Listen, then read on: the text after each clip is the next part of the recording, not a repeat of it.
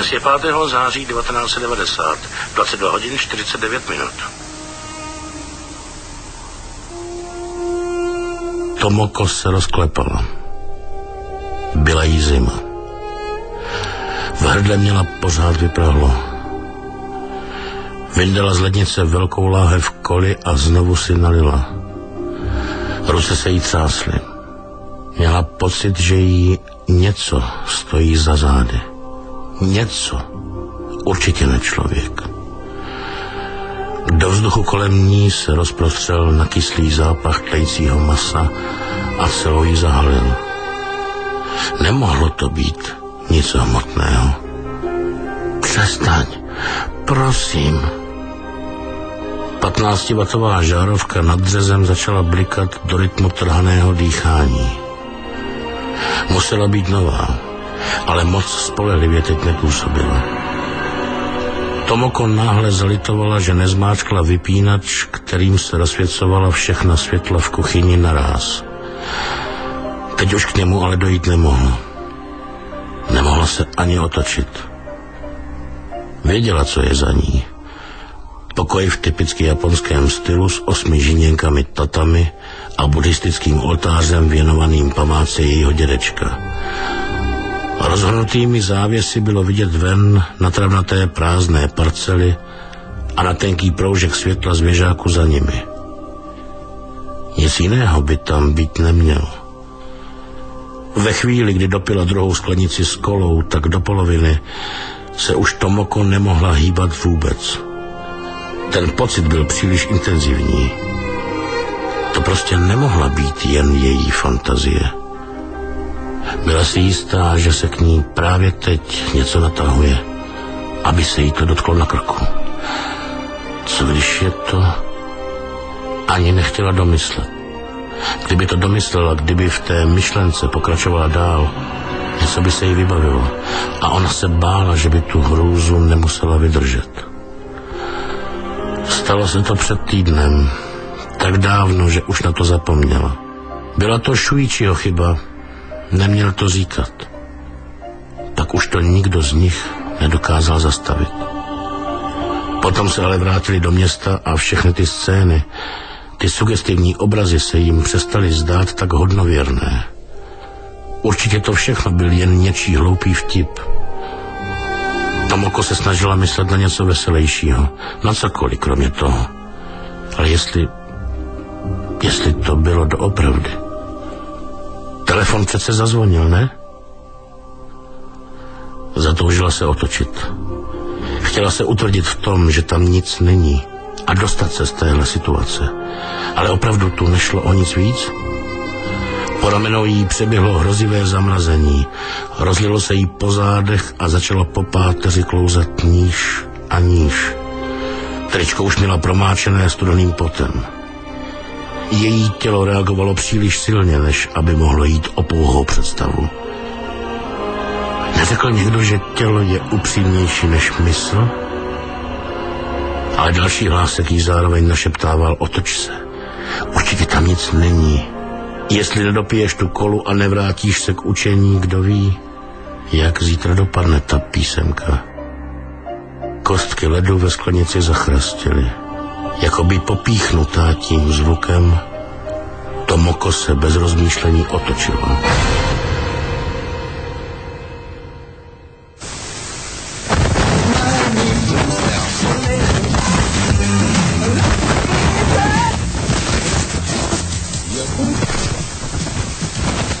Dnes je 5. září 22 hodin 54 minut.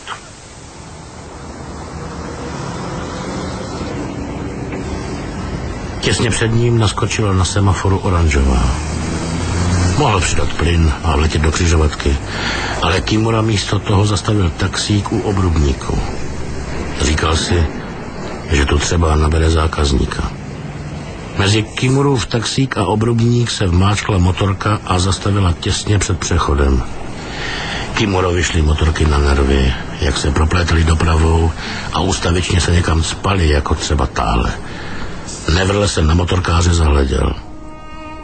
Právě v tu chvíli, jako by motorkář dostal silnou křeč, zvedl obě ruce a svalil se na Kimurův taxík.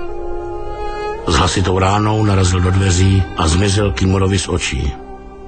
Motorkář ležel na zádech na silnici, škubal nohama a oběma rukama se snažil stáhnout si helmu. A vypadalo, že si ji klidně vezme i s hlavou, pokud to jinak nepůjde. Kimura si uvědomil, že s jezdcem něco není v pořádku. Nakonec si k němu tedy dřepl a zeptal se, stalo se vám něco? Přes sklopené hledí neviděl mladíkovi do tváře. Motorkář ho chytil za ruku a jako by ho o něco prosil. Skoro se na Kimuru pověsil. Neřekl však jediné slovo. Ani se nepokusil zvednout si hledí. Kimura začal jednat. Rozběhl se k telefonní budce. Zavěsil a když se vrátil, ležel už mladík zcela nehybně a rukama si svíral hrdlo. Zastavilo se u něj několik kolem jdoucích a ustaraně si ho prohlíželi. Kimura se mezi nimi protlačil a postaral se, aby všichni věděli, že sanitku zavolal právě on. Hej, hej, pane, vydržte. Sanitka už je na cestě. Kimura uvolnil zemínek na helmě. Tvář měl nepřirozeně skřivenou. Jeho výraz se dal popsat asi jediným slovem. Údiv. Obě oči měl vyvalené a jasně červený jazyk zapadlý vzadu v hrdle, které ucpával, takže mu sliny vytékaly koutkem úst. Sanitka přijede už pozdě. Když se při rozepínání zemínku pod bradou dotkl mladíkova krku, necítil Kimura žádný puls. Celý se otřásl. Ta situace přestávala působit reálně.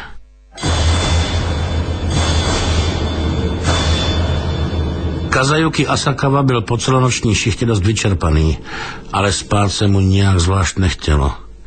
Všiml si, že se k němu směrem od Kudanšity blíží taxík a instinktivně zvedl ruku. Před dvěma dny mu propadla průkazka na metro. Kdyby se i přesto rozhodl jet domů metrem, jisté dvě události by se nejspíš nikdy nepropojily. Ale tak už to chodí, každý příběh začíná nějakou náhodou. Taxík zdráhavě zastavil před jednou z palácových budov.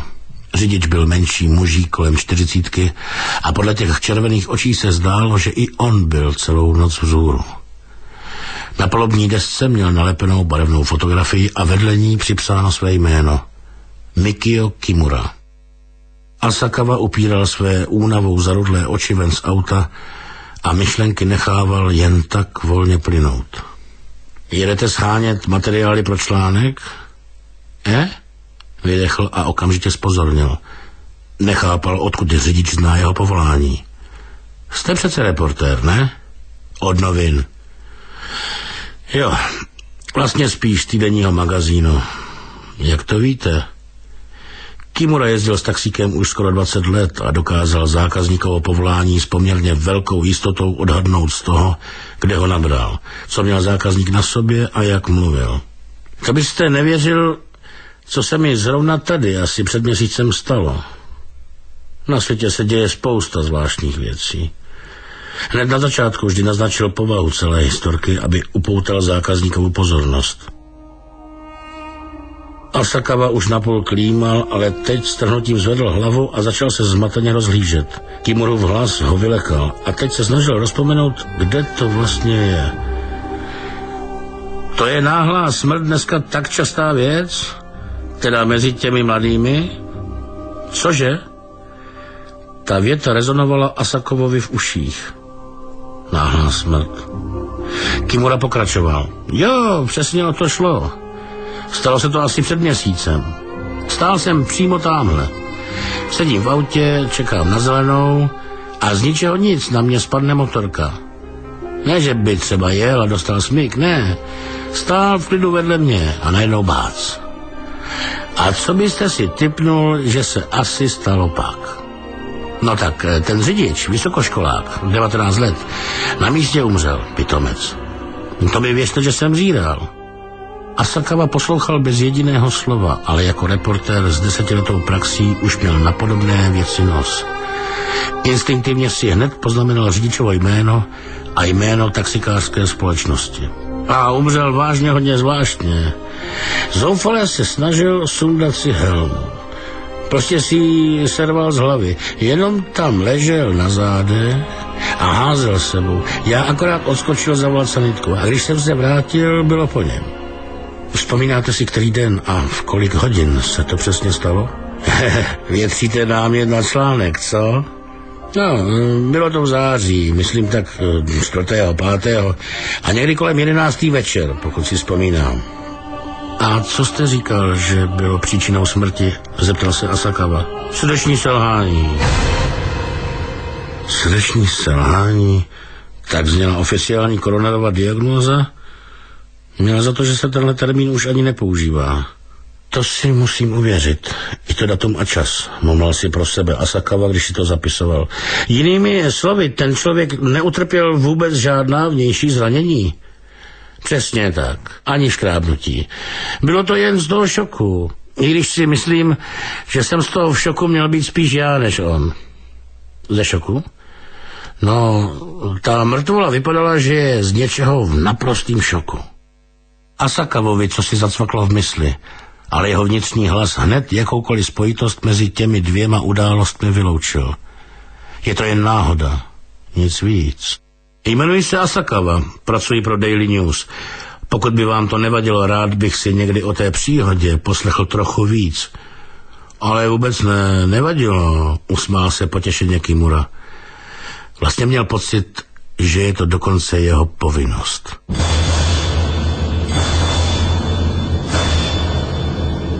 Neteř Asakavovi manželky Tomoko Ojšová zemřela 5. září kolem 11. večer v jejich domě v Honmoku. Příčinou smrti bylo údajně náhlé selhání srdce. Tomoko chodila do posledního ročníku střední školy, bylo jí teprve sedmnáct. Ve stejný den a ve stejnou chvíli zemřel 19-letý vysokoškolák na motorce, rovněž na selhání srdce, zatímco čekal na křižovatce před Šinagavským nádražím. Mně připadá, že to nemůže být nic jiného než náhoda. O té druhé nehodě jste se doslechl od taxikáře a připomnělo vám to neteř vaší ženy. Podle mě v tom nic víc není. Reagoval na Asakavovo vyprávění jeho šéf-redaktor Ogury. Právě naopak opáčil Asakava a významně se na okamžik odmlčel. Pak pokračoval. Ten kluk na motorce si těsně před smrtí zoufale snažil strhnout z hlavy helmu. No a Tomoko taky. Když ji našli, vypadalo to, jako by si před smrtí snažila utrhnout hlavu. Prsty měla pevně zapletené do vlasů. Podle mě v tom hledáte víc, než v tom doopravdy je. Vezměte si libovolné dvě události a při troše snahy u nich vždycky najdete něco společného. Říkáte, že oba zemřeli na selhání srdce. To je bolestivá smrt. Čili ona si začne rvát vlasy a on si zase cloumá s helmou. Mně osobně to připadá poměrně přirozené. V tu chvíli mu nezbývalo nic jiného, než se pokorně stáhnout. Pokud mezi těmi dvěma událostmi nenajde objektivnější pojítko, nejspíš šéf redaktora nikdy nepřesvědčí. A Sakava si v duchu slíbil, že jestli nic dalšího nevyšťárá, nechá to prostě plavat. Byla tahle dvě nevysvětlitelná náhlá úmrtí skutečně jediná, k nímž v 11 večer 5. září došlo? Pokud ne, to jest pokud došlo i k dalším podobným událostem, byla by pravděpodobnost, že se jednalo o náhodu prakticky nulová. Asakawa se rozhodl, že si projde noviny ze začátku září. Vybavoval si, že asi před měsícem zahlédl v rohu stránky s místními zprávami nějaký podezřelý nadpis. Byl to jen krátký článeček, úplně vlevo dole. V 6.15 ráno 7. září byli na předních sedadlech vozu, zaparkovaného na prázdném pozemku u polní cesty v Ašině v Jokosuce, nalezeni mladý muž s dívkou, oba mrtví. Těla objevil řidič nákladního vozu, který náhodou projížděl kolem a nahlásil případ na policejní okrsek v Jokosuce. V době nálezu bylo auto zamčeno z klíčky v zapalování. Pravděpodobný čas úmrtí se odhaduje na pozdní večerní hodiny 5. září až brzké hodiny ranní 6. září. Protože okénka byla zatažena, předpokládá se, že malý pár usnul a ve spánku se udusil, nicméně nevylučuje se ani možnost předávkování drogami za účelem spáchání společné sebevraždy z lásky. Přesnou příčinu smrti se nepodařilo zjistit, zatím však není důvod k podezření, že se jednalo o vraždu. Víc toho článek nenabízel. ale Asakawa měl přesto pocit, jako by právě dostal žihadlo. Především mrtvé dívce bylo 17 a chodila na soukromou dívčí školu v Yokohamě, zrovna jako jeho nekteř Tomoko. Mladíkovi, který si auto půjčil, bylo 19 a byl to vysokoškolský student, zrovna jako ten motorkář, který zemřel před Šinagavským nádražím. Odhadovaný čas úmrtí byl v podstatě schodný a příčina smrti rovněž neznámá. Mezi těmi čtyřmi úmrtími musel existovat nějaký vztah – Nemohlo mu zabrat příliš mnoho času najít další společné znaky. Konec konců Asakawa přece pracoval pro jednu z největších novinářských organizací a na nedostatek informačních zdrojů si opravdu nemohl stěžovat.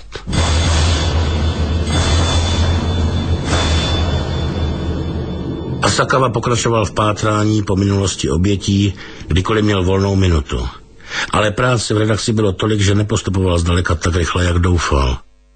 Tomoko Ojšová a Haruko Tsujiyová chodili na stejnou střední školu a byli kamarádky. Shuichi Iwata a Takehiko Nomi studovali na stejné vysoké a byli kamarádi.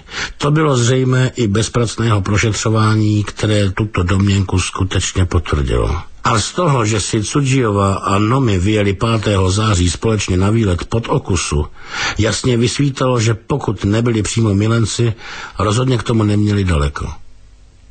Když se poptali jejich přátel, dozvěděl se, že Cudžijová skutečně chodila s nějakým vysokoškolákem z Tokia. A Sakawa se snažil přijít s nějakým vědečtějším vysvětlením. Možná ti čtyři byli ve stejnou dobu na stejném místě a všichni se nakazili nějakým virem, který napadá srdce. Ale, ale. Asakawa příchozí zavrtěl hlavou. Virus, který způsobuje náhle srdeční selhání, tak to zase pr. Vyšel po schodech a celou cestu si pro sebe mumlal. Virus. Virus. Ačkoliv na druhou stranu by se vážně měl pokusit přijít nejdřív na nějaké vědecké vysvětlení. Asakawa seděl před počítačem a v myšlenkách stále pronásledoval ten neznámý virus.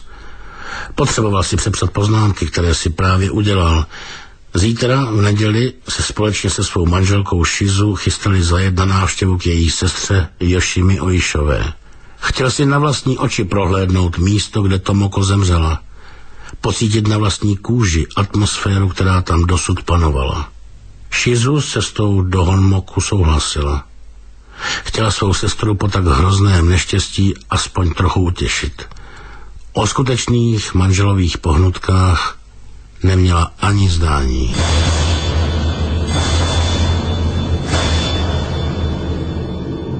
Asakawa vyklouzl z pokoje a zaposlouchal se, co se děje dole. Tak vešel k Tomoko. Cítil se trochu provinile, že takhle proniká do soukromí mrtvé dívky. Podobné chování se mu vždycky hnusilo. Bylo to však pro dobrou věc. Pro porážku zla neměl na vybranou. Hned po tomhle pomyšlení si však v duchu vyčetl, jak se vždycky chytí každého důvodu, jakkoliv pochybného, aby nějak ospravedlnil svoje jednání. Ale vždy tentokrát nejde o psaní žádného článku, hájil se. Snaží se přece jen přijít na to, kdy a kde mohli být ti čtyři pohromadě. Je mi líto. Asakava postupně prohledal kapsy všech šatů ve skříni. Kapesníky, útržky lístků do kina, obaly od žvíkaček, ubrousky, pouzdro na průkazku městské hromadné dopravy a studentská legitimace. Na legitimaci bylo něčí jméno. Proč u sebe měla cizí legitimaci?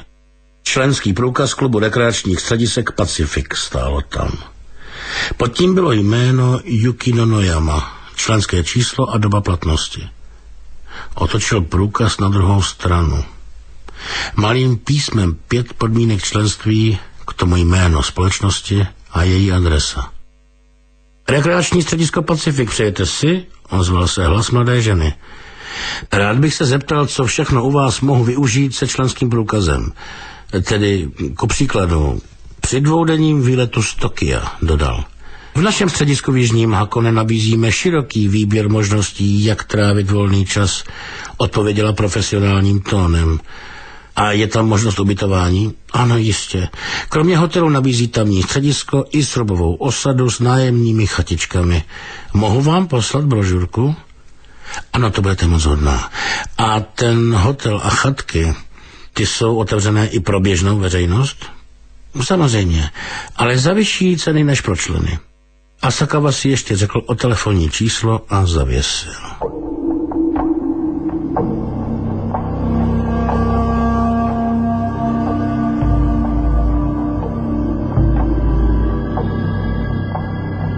Uvědomil si jednu důležitou věc. Pokud onen Nonojama Tomoko svůj průkaz půjčil, jistě by se po její smrti spojil s jejími rodiči, aby mu ho vrátili. Ale Tomočina matka o průkazu nic nevěděla. A Nonojama na něj stěží mohl zapomenout. Takže co z toho vyplývalo? Podle Asakavy jedno jediné. Nonojama půjčil svůj průkaz někomu jinému z té čtveřice. Buď Ivatovi, Tsujijové, nebo Nomimu. Průkaz se nějak dostal k Tomoko a u ní také skončil. Nonojama se nejspíš spojil s rodiči osoby, které průkaz půjčoval. Pokud by se Asakawa spojil s rodinami ostatních tří obětí, mohl by získat Nonojamovu adresu. Měl by jim zavolat co nejdřív, nejlépe ještě dnes večer. Pokud se mu nepodaří objevit nějakou stopu touhle cestou, je dost nepravděpodobné, že by mu průkaz poskytl ještě jiné vodítko k tomu, kdy a kde ti čtyři byli pohromadě. V každém případě se chtěl setkat s Nonojamou a poslechnout si, co mu k tomu bude moct říct on. Večer, sotva se od Ojšových dostali domů, zavolal Cudžijovým, Nomiovým a Ivatovým přesně v tomto pořadí. Všech rodin se zeptal, jestli se s nimi nespojil některý známý jejich dítěte a nedožadoval se členského průkazu do rekreačního střediska. Poslední osoba, s níž hovořila paní Ivatová, mu rozvláčně upovídaně odpověděla. Ano, někdo volal, někdo ze střední, kam chodíval můj syn.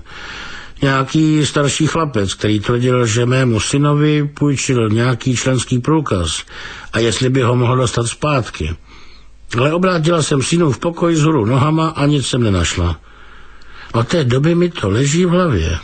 Honem požádal o Nonojamovo číslo a bez prodlení na ně zavolal. Nonojama na Ivatu narazil poslední srpnovou neděli v Šicuje a průkaz mu tehdy půjčil přesně, jak si Asakawa myslel. Ivata si prý chtěl vyrazit s nějakou středoškolačkou, se kterou chodil. Poslední srpnovou neděli bylo 26.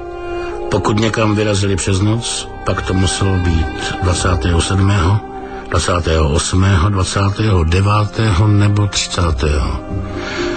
U vysokoškoláků si Asakawa nebyl jistý, ale u děvčat na střední škole bylo jasné, že jim 1. září začala škola.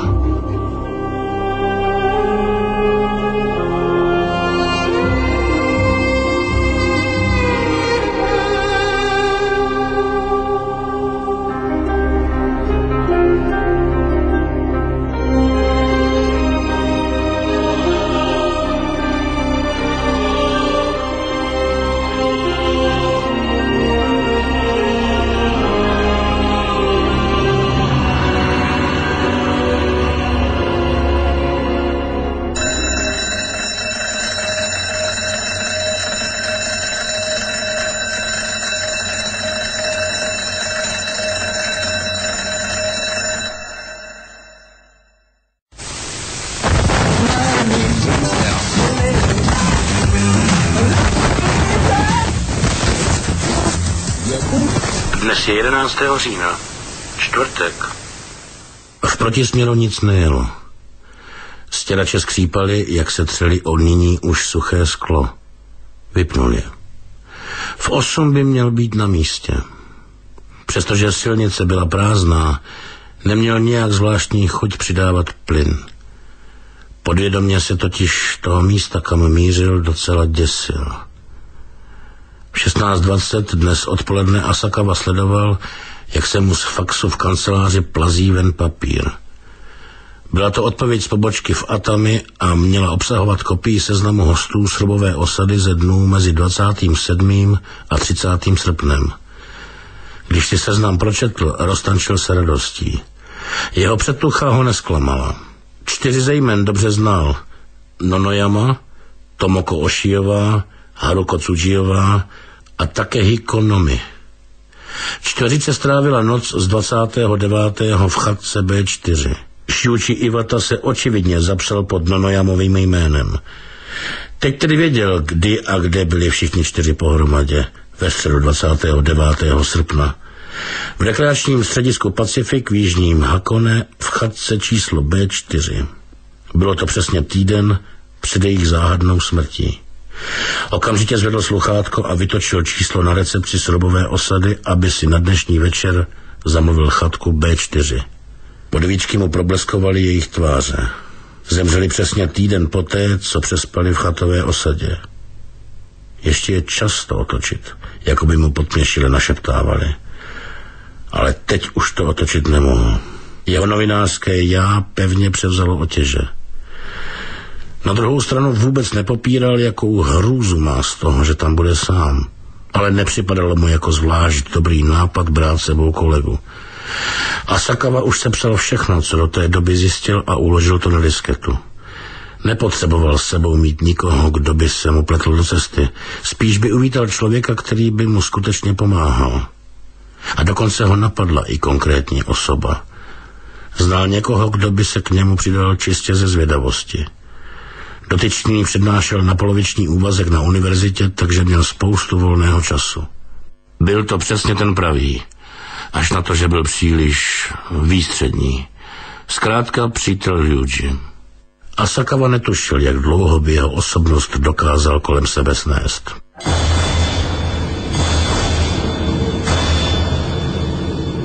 Třípatrová budova na konci rozlehlého parkoviště sloužila zároveň jako informační centrum i jako restaurace.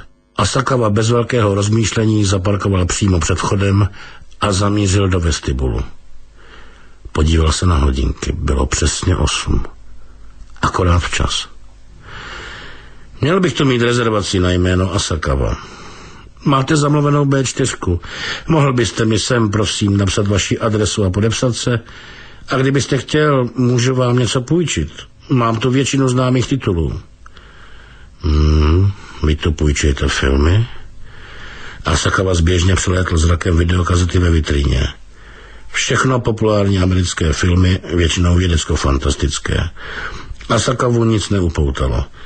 Navíc jsem přijel pod zámínkou, že tu bude pracovat. Děkuji, ale mám tu práci. Asakawa zvedl z podlahy notebook, který si přivezl sebou a ukázal ho správci. Správce mu ještě vysvětlil, kde přesně číslo B4 najde a formálně mu popsal, ať se tu cítí jako doma.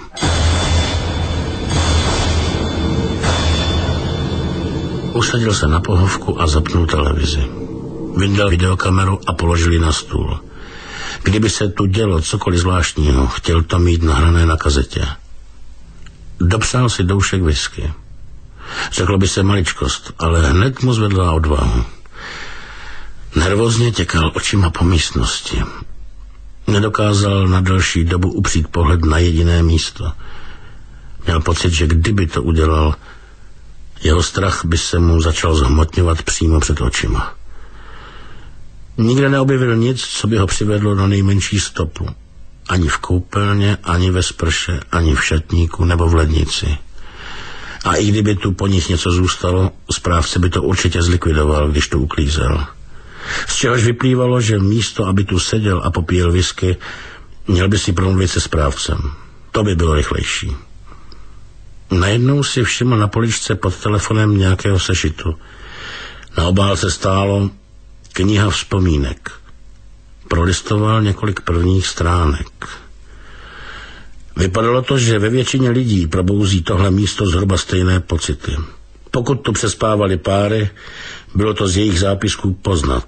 Pokud to byl někdo sám, psal o tom, jak by si přál někoho mít. Přesto to bylo poměrně zajímavé čtení. Hodinky už ukazovaly devět. Pak otočil stránku. Čtvrtek 30. srpna. Pozor, varování pro všechny.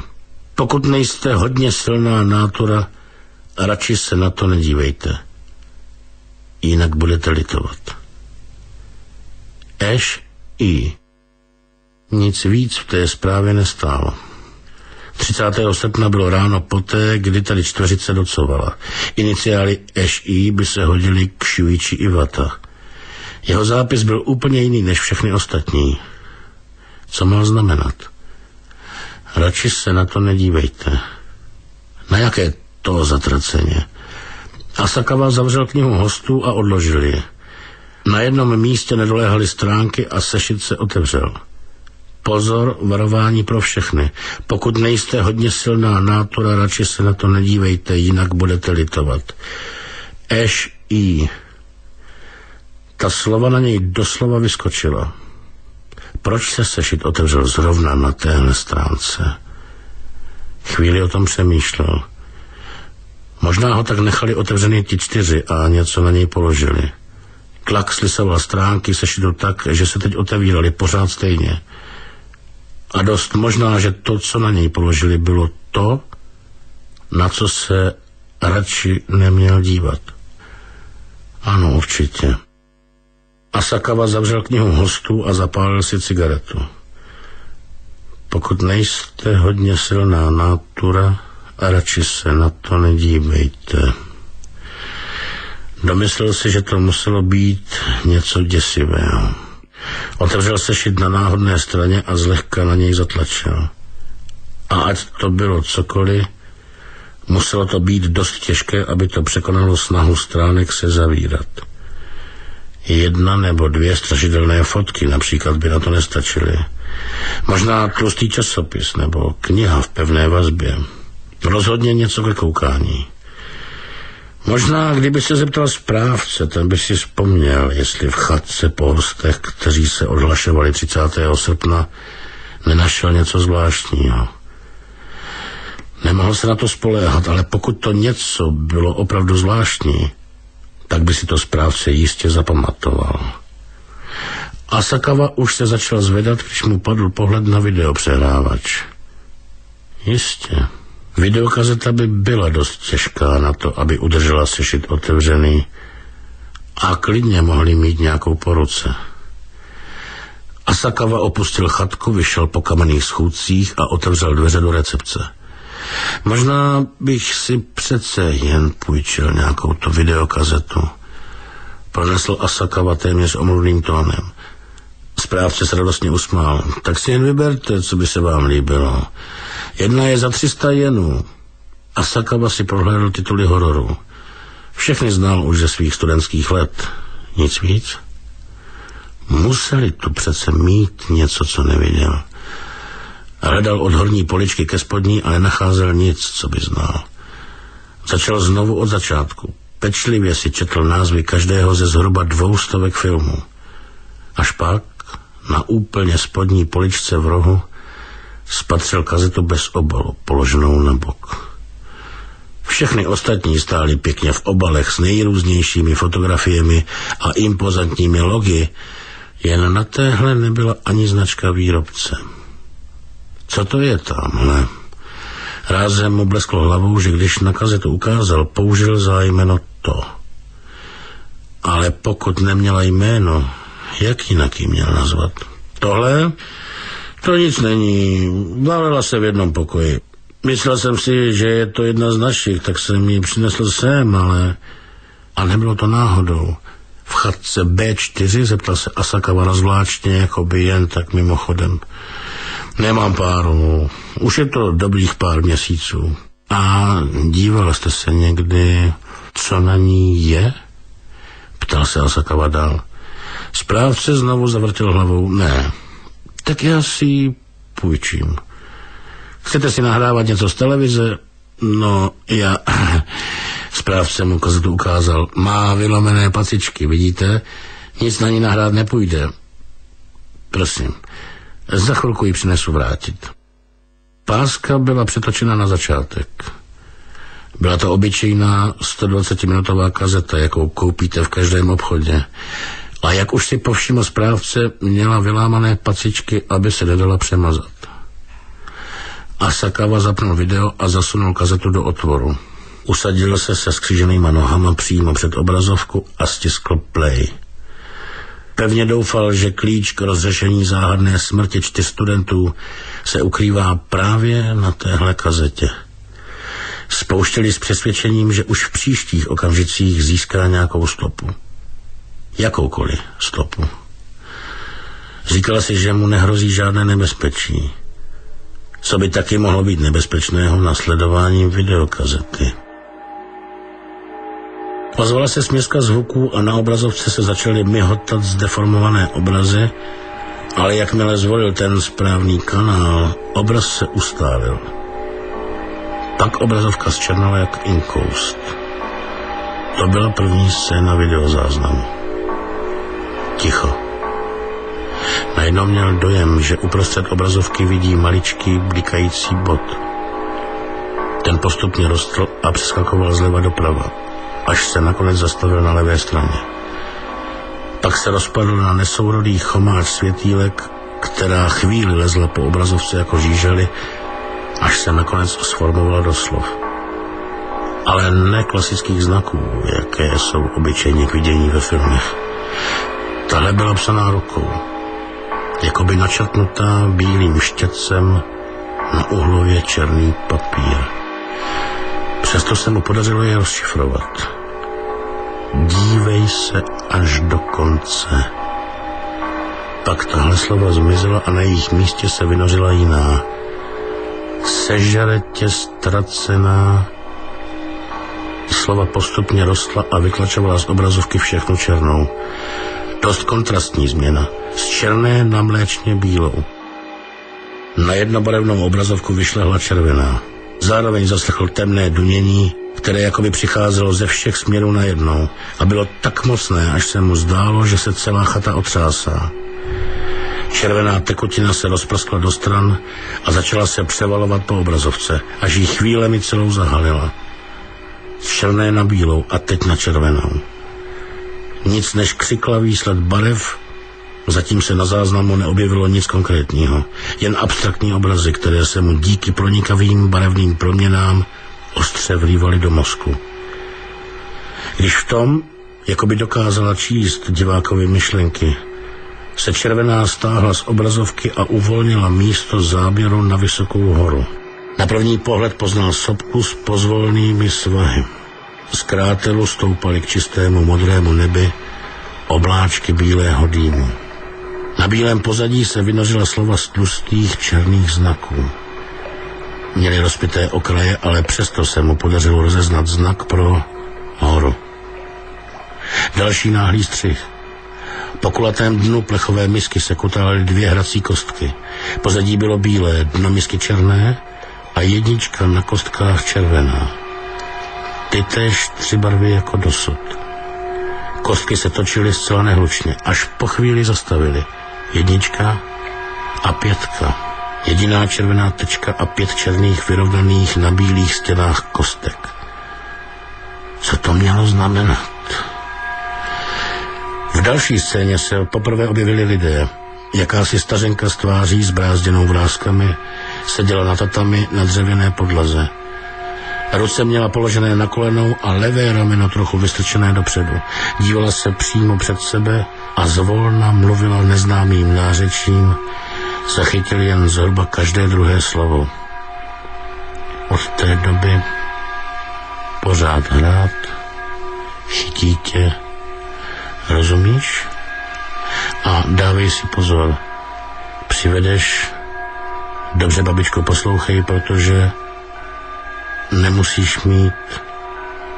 Stařenka bez promění výrazu v tváři domluvila a zmizela. Spoustě z jejich slov nerozuměl, ale pochopil, že mu zřejmě dávala nějaké ponaučení. Říkala mu, aby si na něco dával pozor. Varovala ho. Ke komu ta stará žena mluvila? A o čem? Na obrazovce se objevila tvář novorozeněte. Od někud zaslechl jeho první pláč. Zněl velice blízko, uvnitř v jeho hlavě. Skoro jako by dítě bylo přímo s ním v místnosti. Na obrazovce spatřil také ruce, které novorozeně opatrně drželi.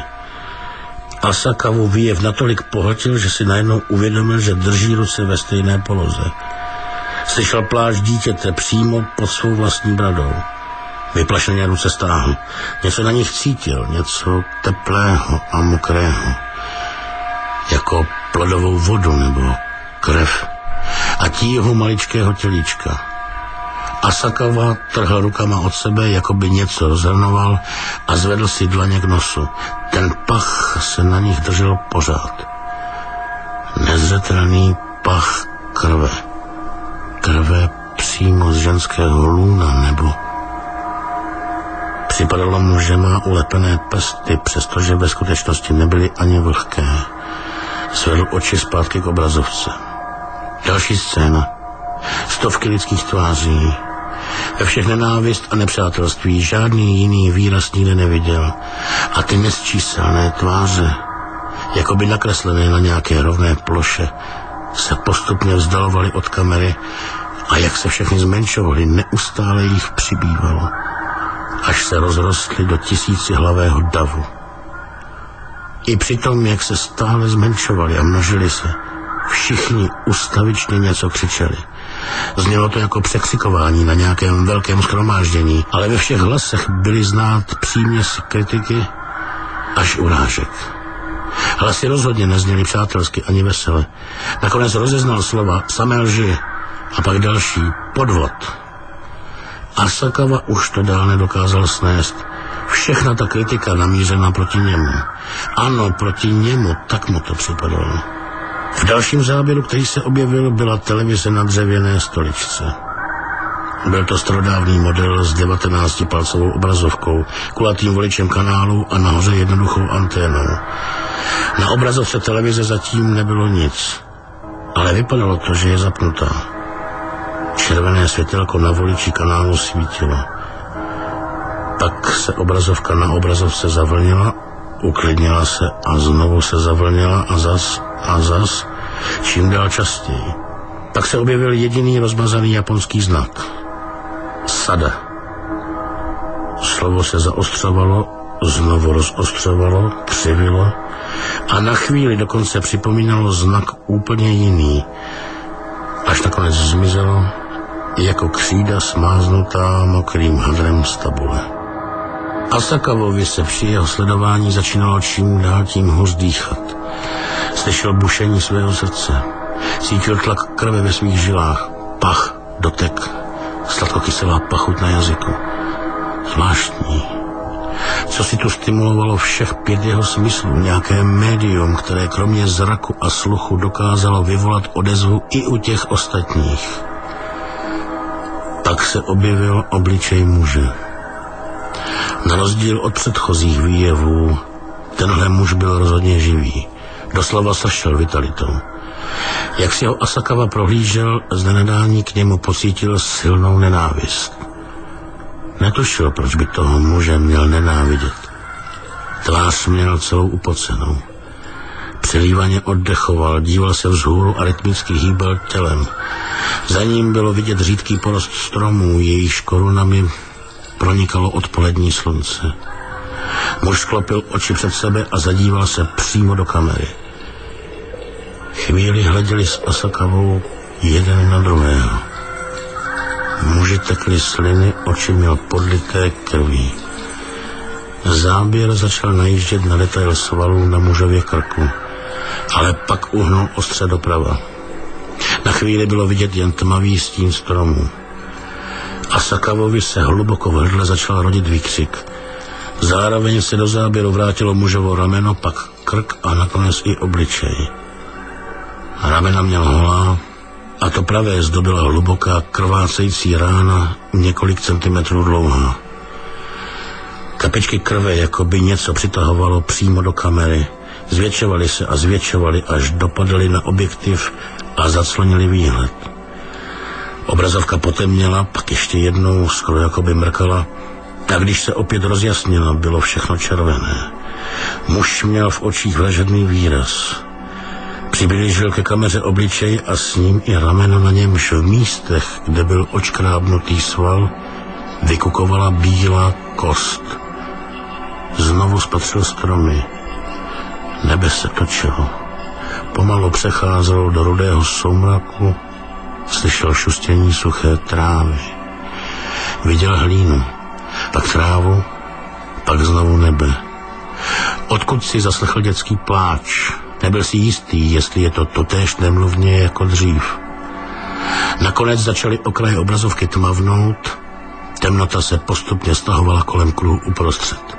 Tmu a světlo oddělovala zřetelná hranice.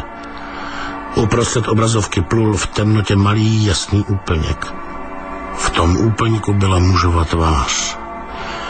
Přiletěla od něj hrst čehosi, co dopadlo stupým nárazem. Pak další. A ještě jedna. S každým dalším nárazem sebou obraz trhl a rozhoupal se. Zvuk drcených kostí, pak naprostá temnota. Ale potom jakoby ještě něco pulzovalo. Krev dosud cirkulovala v žilách, srdce tepalo. Scéna pokračovala dál a dál. Temnota jakoby nikdy neměla skončit. A pak, stejně jako na začátku, se na obrazovce vynořila slova. Těm, kdo zahlédli tyto výjevy, je souzeno zemřít přesně za týden od tohoto okamžiku. Pokud se chcete smrti vyhnout, musíte přesně poslechnout tyto příkazy. Asakava na prázdno polkl a vyvolenýma očima zíral na obrazovku. Jenže v tom se scéna opět změnila. Naprosto změnila. Objevila se reklama, úplně obyčejná, tuctová televizní reklama. Asi po 30 vteřinách skončila a právě když měla začít další, vrátila se obrazovka do původního stavu. Temnota, jen blednoucí stíny posledních mizejících znaků. Potom statické šumění, když záznam skončil.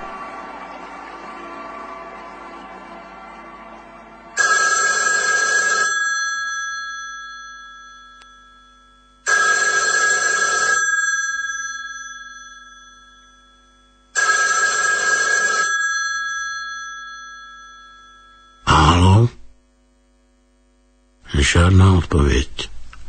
Ozvalo se tlumené dunění, které jakoby vycházelo přímo ze země pod jeho nohama a ucítil pach vlhké, kypré půdy. V uchu ho zamrazilo, až mu z toho vstaly chlupy na zátilku.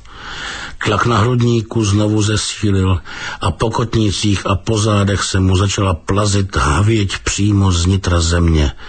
Skrz sluchátko se k němu natahovaly nevyslovitelné myšlenky a dlouho vyzrávající nenávist. Asakava praštil sluchátkem do vidlice. Po zádech mu přeběhl mráz, zaplavili ho vlny nevolnosti. Ta věc na druhém konci neřekla jediné slovo, ale Asakava dobře věděl, co mu chtěla. Bylo to zavolání na potvrzenou.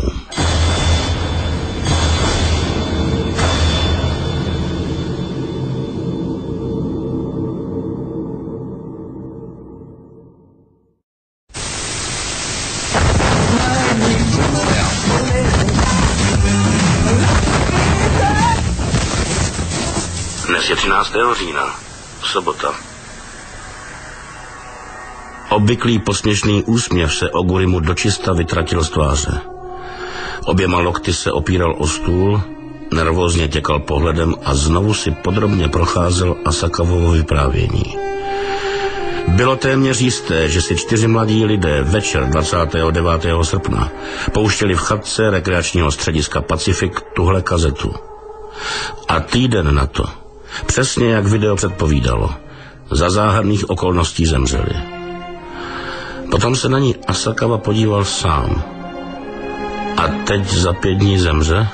Na druhou stranu ty čtyři smrti se nedali nijak vyvrátit. Jak by je vysvětlil? Existuje mezi tím vším nějaké logické pouto? Rád bych, abyste mě zbavil mých povinností. Chtěl bych to video důkladně proskoumat, prosím vás o to. Jde tu konec konců o můj život. Oguri dvakrát rázně přikývil. Knihovně si Asakawa vyrovnal na stůl tři tlusté knihy. Japonské sopky, sopečné souostroví a činné sopky světa. Netrvalo dlouho a objevil to, čeho se obával. Mihara? Zamumlal si pro sebe Asakawa. Asakawa si vybavil záběry z videa, pokoušel si představit sopku z jiných úhlů a porovnávat ji s těmito fotografiemi. Podobnost se skutku nedala přehlédnout. Odpoledne strávil Asakawa u telefonu. Obvolával lidi, kteří během posledního půl roku obývali chatku B4. Musel obvolat 16 lidí. Poslední skupina, čtyřčlená rodina Kanekových z Yokohamy, si přivezla kazetu, aby si mohli nahrát něco na jiném kanálu, zatímco se budou dívat na nějaký historický seriál. V neděli 26. srpna v 8 večer začalo video v chatce B4 nahrávat. Kanekovic rodina následně na kazetu zapomněla a odjela domů. Po nich přijela naše mladá čtveřice. Rozhodli se, že si pustí nějaký film, ale zjistili, že v přehrávači už nějaká kazeta je. Nic netušící si ji pustili. Spatřili nepochopitelné, prapodivné věci. Potom tu hrozbu na konci. A z nudy je napadl krutý žertík. Přemazali tu část, kde se radilo, jak uniknout jisté smrti a nechali kazetu v chatce, aby vyděsila příští hosty. Sami nejspíš ničemu z toho, co viděli, nevěřili. Napadlo ho, jestli si před smrtí na kazetu vůbec vzpomněli. Ale možná na to ani neměli čas, než po nich zubatá švihla kosou. A Sakava se otřásl. Nešlo jen o ně. Pokud se mu během pěti dnů nepodaří najít způsob, jak se zachránit, skončí stejně jako oni. Pak pozná, jak přesně se při umírání cítili. Ale jestli si ten kluk nahrál nějaký seriál, odkud se vzali tyhle záběry? Asakawa si od začátku myslel, že je někdo natočil videokamerou a pak jen překopíroval na pásku. Kazeta se ovšem měla nahrávat z televize, což by znamenalo, že se ty záběry nějakým způsobem dostaly přímo do rádiových vln. Jiné vysvětlení nepřicházelo v úvahu. Večer 26. srpna se tyto záběry proháněly na rádiových vlnách po oblasti Jižního Hakone a shodou okolností se zaznamenaly na tuhle kazetu.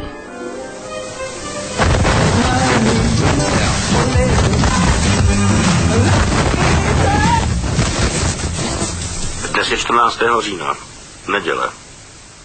Následujícího rána, v neděli, vytačil Asakawa hned po probuzení Ryujiho číslo. Jedu k tobě, tak tam počkej, řekl Ryujimu a zavěsil. Ryuji mu přišel otevřít ještě v pyžamu, byl rozsuchaný a neohlený. Očividně se právě vydrápal z postele. Asakawa nedočkavě skopl boty z nohou a ještě v předsíní vyhrkl. Přišel jsi na něco? Ne, v podstatě na nic. Ale pojď dál, vybídl ho Ryuji. Tak vyklop, na co jsi přišel ty, vyzval ho Ryuji za netrpělivého pohupování kolenem. Ze všeho nejdřív Ryuji mu sdělil, že nahrávka byla pořízena z televize přímo v chatce v 8 hodin večer 26. srpna. Hlavní otázkou tedy pořád zůstává, odkud to vysílání přišlo. Z Ryujiho úst to znělo tak prostě. Odhalit zdroj signálu by mohlo jen organizované, vědecky založené pátrání. Počkat, Vždyť ani nevíme, jestli je tenhle náš předpoklad vůbec správný.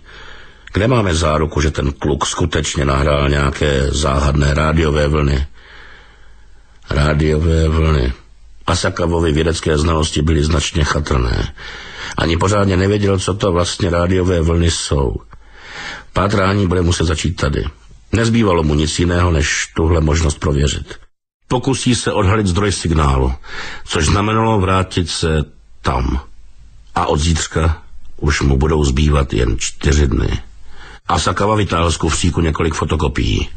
Byly to fotografie sopky Mihara na ostrově Izu Oshima. Co si o tom myslíš? zeptal se Ryujiho, když mu je podal. Hm, tak Mihara. Podle mě je to stoprocentně ona. Stoprocentně? Včera odpoledne jsem se ptal jednoho etnologa z univerzity na nářečí té babky. Povídal, že dneska už se jim pravděpodobně nemluví, ale nejspíš pochází z Izu Oshimy. Prý se v něm dokonce dají vysledovat rysy typické pro oblast Sashikaji na jižním cípu ostrova. Byl dost opatrný a říkal, že neručí za to, že to tak skutečně je, ale ve spojení s touhle fotkou myslím, že je takřka jisté, že to nářečí pochází z Izu Oshimy a že ta hora je Mihara. Mimochodem, zjistil si, kdy Mihara v poslední době soptila? Samozřejmě. Vzhledem k tomu, kdy se na trhu objevily videokamery, počítám, že jsme viděli erupci z 86.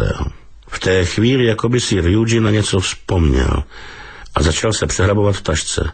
Vytáhl z ní list papíru. Tady to je. Tohle tam ta stará babka prý říká. Ten kolega byl natolik laskavý, že mi to přeložil do spisovné japonštiny. Asakawa se podíval na list papíru, na němž stálo. A jsi od té doby zdráva? Jestli si budeš pořád hrát ve vodě, chytí tě mořské obludy. Rozumíš? A dávej si pozor na cizí lidi. Příští rok přivedeš na svět dítě. Dobře, babičko, poslouchej, protože jsi ještě mladá holka. Z místních lidí nemusíš mít strach.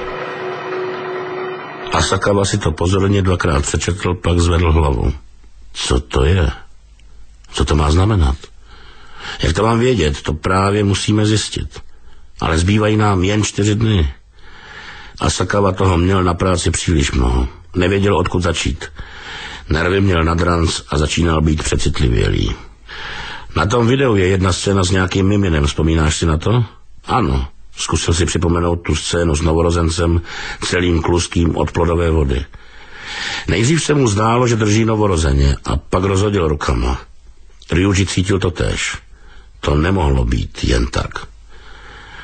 Ryuji pustil zmiňovanou scénu, klekl si na všechny čtyři a naklonil se až těsně k obrazovce. Výjev trval asi dvě minuty a čerstvě narozený chlapeček vydržel celou dobu vřískat. Pod jeho hlavičkou a zadečkem viděli dvě ruce. Počkej, co to bylo?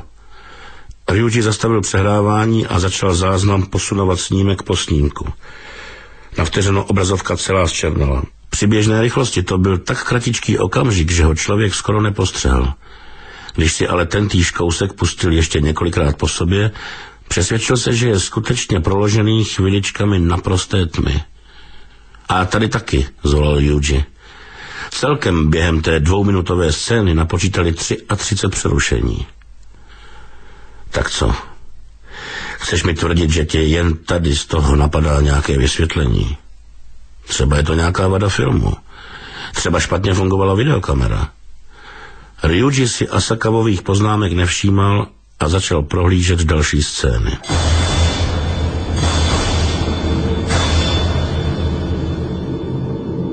Devět večer už Shizu s Yoko jako obyčejně spali. Asakawa přemýšlel o té poslední věci, s níž Ryuji přišel. Proč si pořád dokola přehrával tu scénu s dítětem? A co slova té stařenky? Příští rok přivedeš na svět dítě. Byla mezi tímhle stařenčiným proroctvím a tím novorozenětem nějaká souvislost? A co ty okamžiky naprosté černoty? A Sakavu napadlo, že by si mohl video ještě jednou pustit, aby si to všechno potvrdil. Otevřel skřínku a vyndal z ní videokazetu.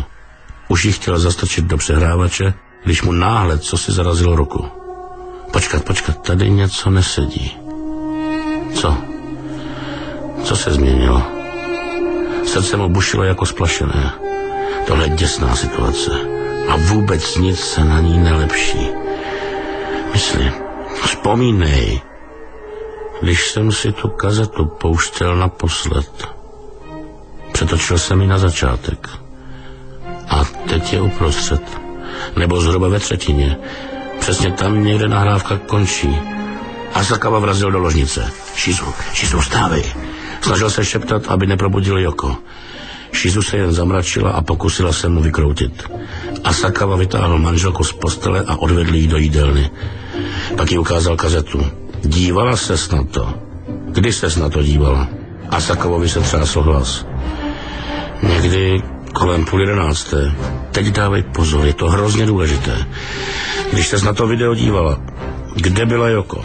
Šizu vypadala, že se dá každou chvíli do pláče. Seděla mi na klíně. Takže Joko taky? Chceš mi říct, že jste to video viděli obě? Teď byla tedy v ohrožení celá rodina. Všechny je možná čekala úplně zbytečná smrt.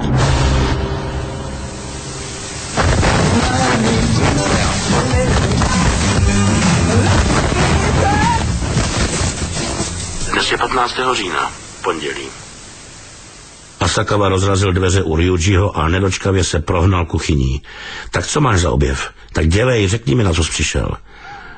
Ryuji chvíli mlčel. Pak se laskavým tónem zeptal. Co je s tebou? Stalo se něco? Asakawa se zroutil na podlahu, rukama si objel kolena. Moje žena, moje dcera si tu pitomou kazetu včera pustili. No, jen o důvod víc, proč si zachovat chladnou hlavu. Ryuji mu podal list papíru. Byla na něm jednoduchá tabulka. Některé věci byly jasné na první pohled. Ryuji rozdělil video po jednotlivých scénách, očísloval je a pojmenoval. Číslo za jménem je délka scény ve vteřinách. Další číslo to v závorce udává, kolikrát se během dané scény objeví tmavá obrazovka. Byly tam ve scénách 3, 4, 8, 10 a 11. V dalším sloupečku potom stojí abstraktní a reálné. Ryuji se na okamžik odmlčel. Dobře si tu tabulku prohlédni, schválně, jestli si něčeho všimneš. No, ta černá obrazovka se objevuje jen v reálných scénách. Přesně tak, to je ono. Problém je v tom, že jsme si oba od začátku mysleli, že tyhle záběry někdo natočil kamerou, jinými slovy nějakým přístrojem s objektivem. Je to tak? A nenatočil snad? A co je pak ta černá opona, která vždycky na chvíli zakryje obraz? Ryuji se zadíval Asakavovi přímo do tváře a jednou pomalu mrkl. Černá opona. Cože? Vydechl Asakava překvapeně. Takže to má být mrknutí oka? Přesně tak. Nebo se pletu? Když se nad tím zamyslíš, všechno sedí. Některé věci vidíme očima, jiné si můžeme vytvářet přímo ve své fantazii. Takové obrazy ovšem neprocházejí přes sítnici, takže je neovlivňuje mrkání. Naopak, když se díváme očima, vytvářejí se obrazy v závislosti na intenzitě světla, které na sítnice dopadá. A protože nechceme nechat oči oschnout, neustále mrkáme. Ta černá obrazovka se objevuje v okamžicích, kdy se oči zavřely. Věděl jsi, že muž mrká v průměru 20krát do minuty, zatímco žena v průměru jen 15krát? Z čehož vyplývá, že tyhle záběry s velkou pravděpodobností pocházejí od ženy. V každém případě teď víme, co podnikat dál. Musíme vypátrat, kdo ta osoba je, nebo byla. Mám takový dojem, že už není mezi živými. A pak musíme zjistit, po čem ta osoba za život toužila. Právě to bude totiž zaklínadlo, které nás zachrání.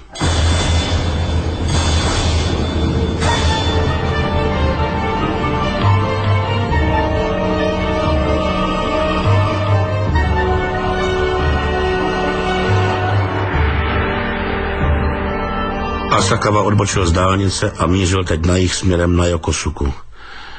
Přímo před sebou spatřil dvoupatrový dům s malou cedulkou, na níž stálo památník Tetsuza Miury. Tetsuza Miura zemřel před dvěma roky ve věku 72 let. Památník vznikl jako podsta jeho bádání v oblasti paranormálních jevů. Otevřeli se dveře a dovnitř nakoukl asi 40-letý muž s knírkem. Ryuji k němu hned zamířil a podal mu svou navštívenku. Asakawa se rozhodl, že ho bude následovat. Rádi bychom se s vámi o něčem poradili, pokud by to bylo možné. A o čem? Bylo to asi před třemi lety. Ano, rok předtím, než zemřel. Dostal jsem od svého ústavu nabídku, abych připravil přednášku o vědeckých metodách a napadlo mě, že bych mohl využít příležitosti a poslechnout si, co by k téhle problematice řekl profesor. Byl jste za ním tady, v tomhle domě? Ano. Představil nás profesor Takatsuka. Po tomhle jméno se muž konečně usmál. Pochopil, že má z návštěvníky něco společného. Ti dva musí být na naší straně. Nejspíš přece jen nepřišli proto, aby nás napadali. Povězte mi, co vás sem vlastně přivedlo. Popravdě řečeno někoho hledáme. Koho? No, my vlastně nevíme, jak se jmenuje. Proto jsme tady. Teď vám asi dost dobře nerozumím. Tetsuaki se zatvářil strápeně, jako by tím chtěl návštěvníky přimět ke srozumitelnému vyjadřování. Nejsme si ani jistí, jestli ta osoba ještě žije nebo už je po smrti. S určitostí ale víme, že vládla silami, jakými obyčejní lidé nevládnou. Odmlčel se a zadíval se na Tetsuakiho, který zřejmě okamžitě pochopil, kam tím Ryuji míří. Váš otec byl zřejmě největší sběratel podobných informací v Japonsku. Řekl mi, že prostřednictvím sítě svých spolupracovníků dal dohromady seznam lidí s paranormálními schopnosti z celého Japonska. Všechny ty údaje by zřejmě měly být někde tady. Rozhodně vám nechceme přidělávat práci. S vaším svolením je klidně prohlédneme sami. Jen my dva. Máme je nahoře v archivu. Chcete se na ně zajít podívat? Tetsuaki vstal. Archiv se nacházel v místnosti s vysokým stropem hned naproti schodiště. Když vešli dovnitř, spatřili dvě knihovny, obě po sedmi policích. V každém šanonu byly materiály ke 40 případům a na první pohled se zdálo, že šanonů jsou tu tisíce. Asakawa nepostřehl, jak se na to tváří Ryuji, protože měl sám co dělat, aby neomdlel. Jestli se do tohohle pustíme, taky se může stát, že zemřeme přímo tady, v téhle bezútěšné místnosti. Musí se to přece dát zjistit i jinak. Ryuji ho to ale zřejmě vůbec nevyvedlo z míry, protože se zeptal, můžem se do nich mrknout. Jen do toho. Ale já mám spoustu práce. Omluvil se na odchodu. Sotva osaměli, obrátil se Asakawa na Ryujiho a zeptal se, tak nechceš mi konečně říct, o co tu jde? Nemáme moc času, takže ti to všechno vysvětlím při hledání. Já začnu rokem 1956, ty rokem 1960. Asakawa váhavě vytáhl jeden šanon a začal jim listovat. V každé folii byla minimálně jedna fotografie a list papíru se stručným popisem, jménem a adresou. A co mám hledat? Soustřed se na jména a adresy. Snažíme se najít nějakou ženu z ostrova Izu Oshima. Určitě ženu, zvedl Asakawa tázavě hlavu. Vzpomínáš si na tu stařenku na videu? Říkala někomu, že přivedeš na svět dítě. Myslíš, že mluvila k chlapovi? Ryuji měl pravdu. Muž by dítě rodil těžko. Mimochodem, proč prohlížím rok 1960? Vzhledl najednou. Vzpomínáš si na tu scénu, kdy byla na videu vidět televize? Byl to dost starý model. Vlastně hned jeden z prvních, co se vyráběli v 50. letech a na začátku let 60. Ale to přece ještě neznamená mlč. 60. léta jsou prostě nejpravděpodobnější. Asakawa si v duchu vynadal, že se před okamžikem tak naježil. Ale měl k tomu dobrý důvod. Vzhledem k jejich omezenému času tu bylo složek prostě příliš mnoho a byl by div, kdyby ho to neznervózňovalo. Uplynuly dvě hodiny. Ticho v archivu z ničeho nic předložil Ryujiho jásavý výkřik. Mám to, konečně. Tak tady se schovává. Asakawa hned přispěchal k jeho složce. Posadil se vedle Ryujiho, nasadil si brýle a dal se do čtení.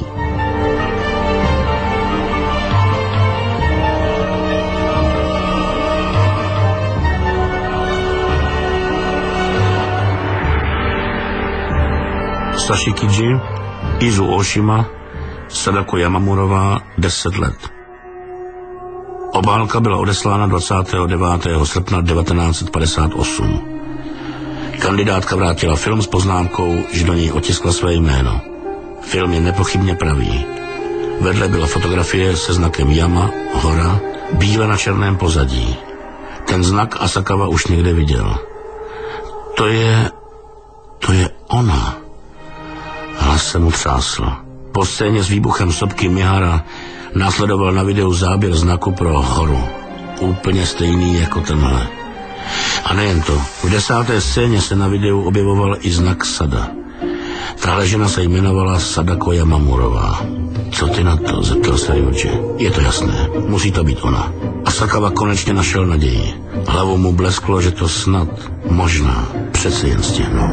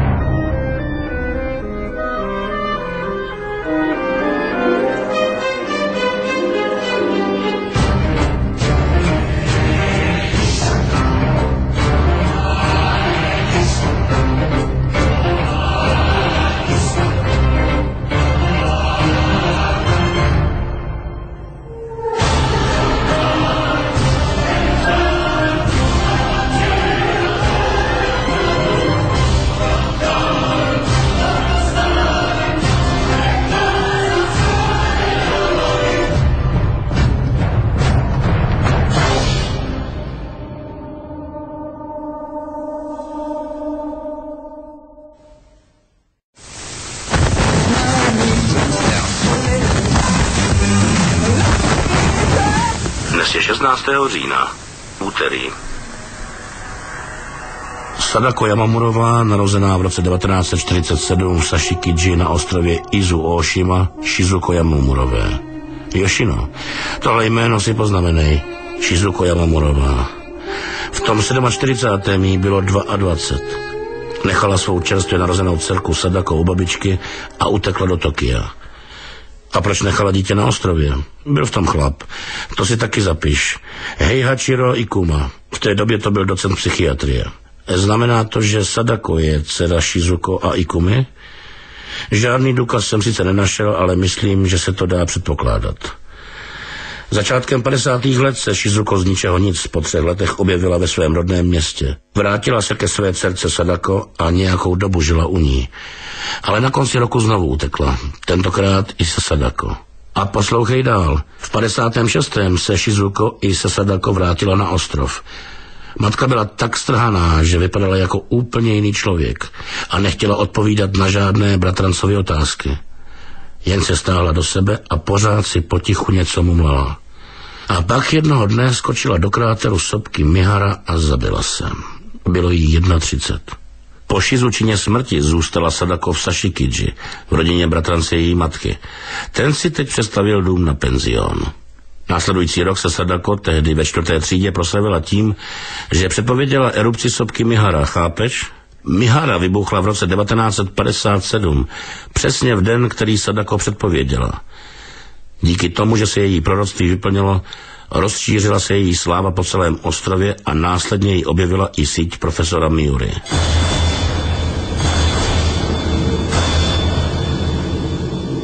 Bylo 21.40, když mladý Asakavův přítel a kolega Yoshino vyšel ze stanice metra. Rozhlédl se a na chodníku stála cedule s nápisem Divadelní spolek Povětroň.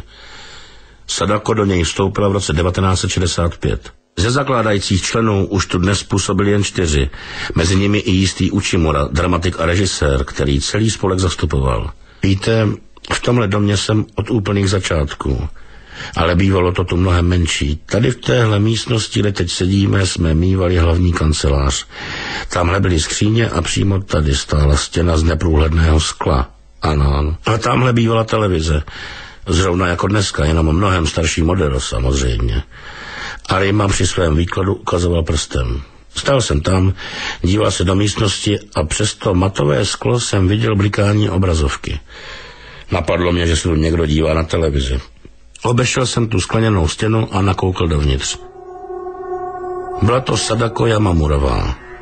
Ale když jsem došel za stěnu a postavil se vedle ní, na obrazovce už nic nebylo. Automaticky jsem předpokládal, že prostě televizi právě vypnula.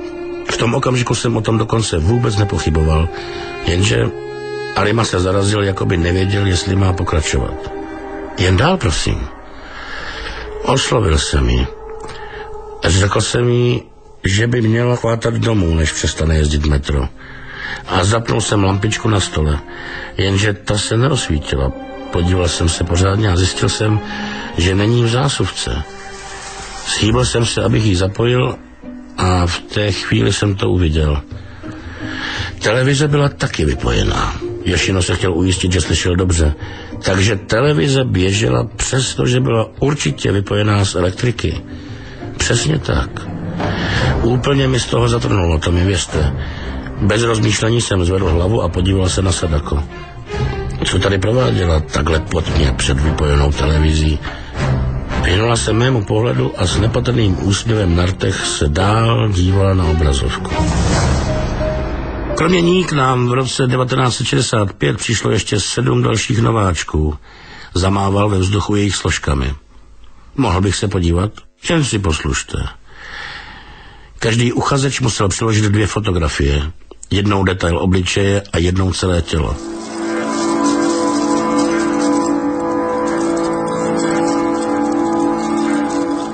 Ješino s nuceným klidem vytáhl složku Sadako Yamamurové. Podíval se na fotografie. Neříkal jste náhodou před chvílí, že byla divná, zarazil se. Sadako, jak si ji představoval podle Arimova vyprávění, se vůbec v ničem nepodobala Sadako, kterou teď viděl před sebou. Divná? To jste nemohl myslet vážně. Nikdy jsem neviděl hezčí tvář.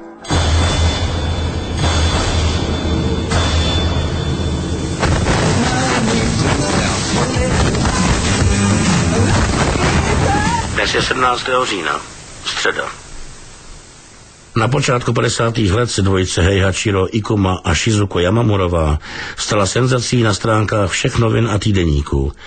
Podařil se jim nečekaný průlom ve vědeckém chápání podstaty nadpřirozených sil.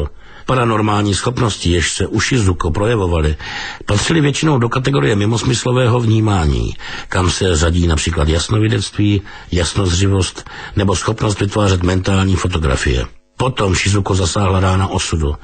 V roce 1954 porodila druhé dítě, to ale bylo vážně nemocné a zemřelo v pouhých čtyřech měsících. Byl to chlapec. Sadako již bylo v té době sedm let, údajně našla ve svém maličkém bratříčkovi ohromné zalíbení.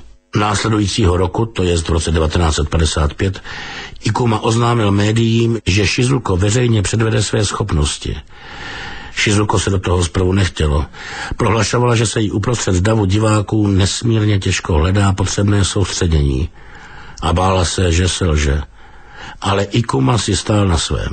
Smluveného dne Shizuko neochotně vystoupil na pódium v posluchárně laboratoří, obklopena zkoumavými pohledy téměř stovky vědců a zástupců tisku. Už tak byla duševně na dně a tyhle pracovní podmínky se sotva dali považovat za ideální. Naplánovaný pokus byl velmi prostý. Stačilo, aby říkala, jaké číslice budou padat na dvou kostkách v kovovém kalíšku. Kdyby mohla zapojit své schopnosti jako obyčejně, nebyl by to nejmenší problém. Jenže ona cítila, jak všichni z té stovky lidí čekají a doufají, že selže. Třásla se, krčila se na podlaze a nakonec zmočeně vykřikla už dost. Shizuko sama to vysvětlovala následovně. Každý má určité duševní schopnosti. U ní se jen projevovaly mnohem silněji než u ostatních. Ovšem před tolika lidmi, kteří si přáli její neúspěch, její schopnosti selhávali. Nedokázala je přimět k činnosti. Následující den stálo ve všech novinách. Tak přece jen podvod. Nakonec přiznali barvu. Profesor je podvodník. Konec pětiletých sporů. Vítězství moderní vědy. Ani jediný článek se jich nesnažil zastat. Ke konci roku se Ikuma rozvedl se svou manželkou a odešel z univerzity.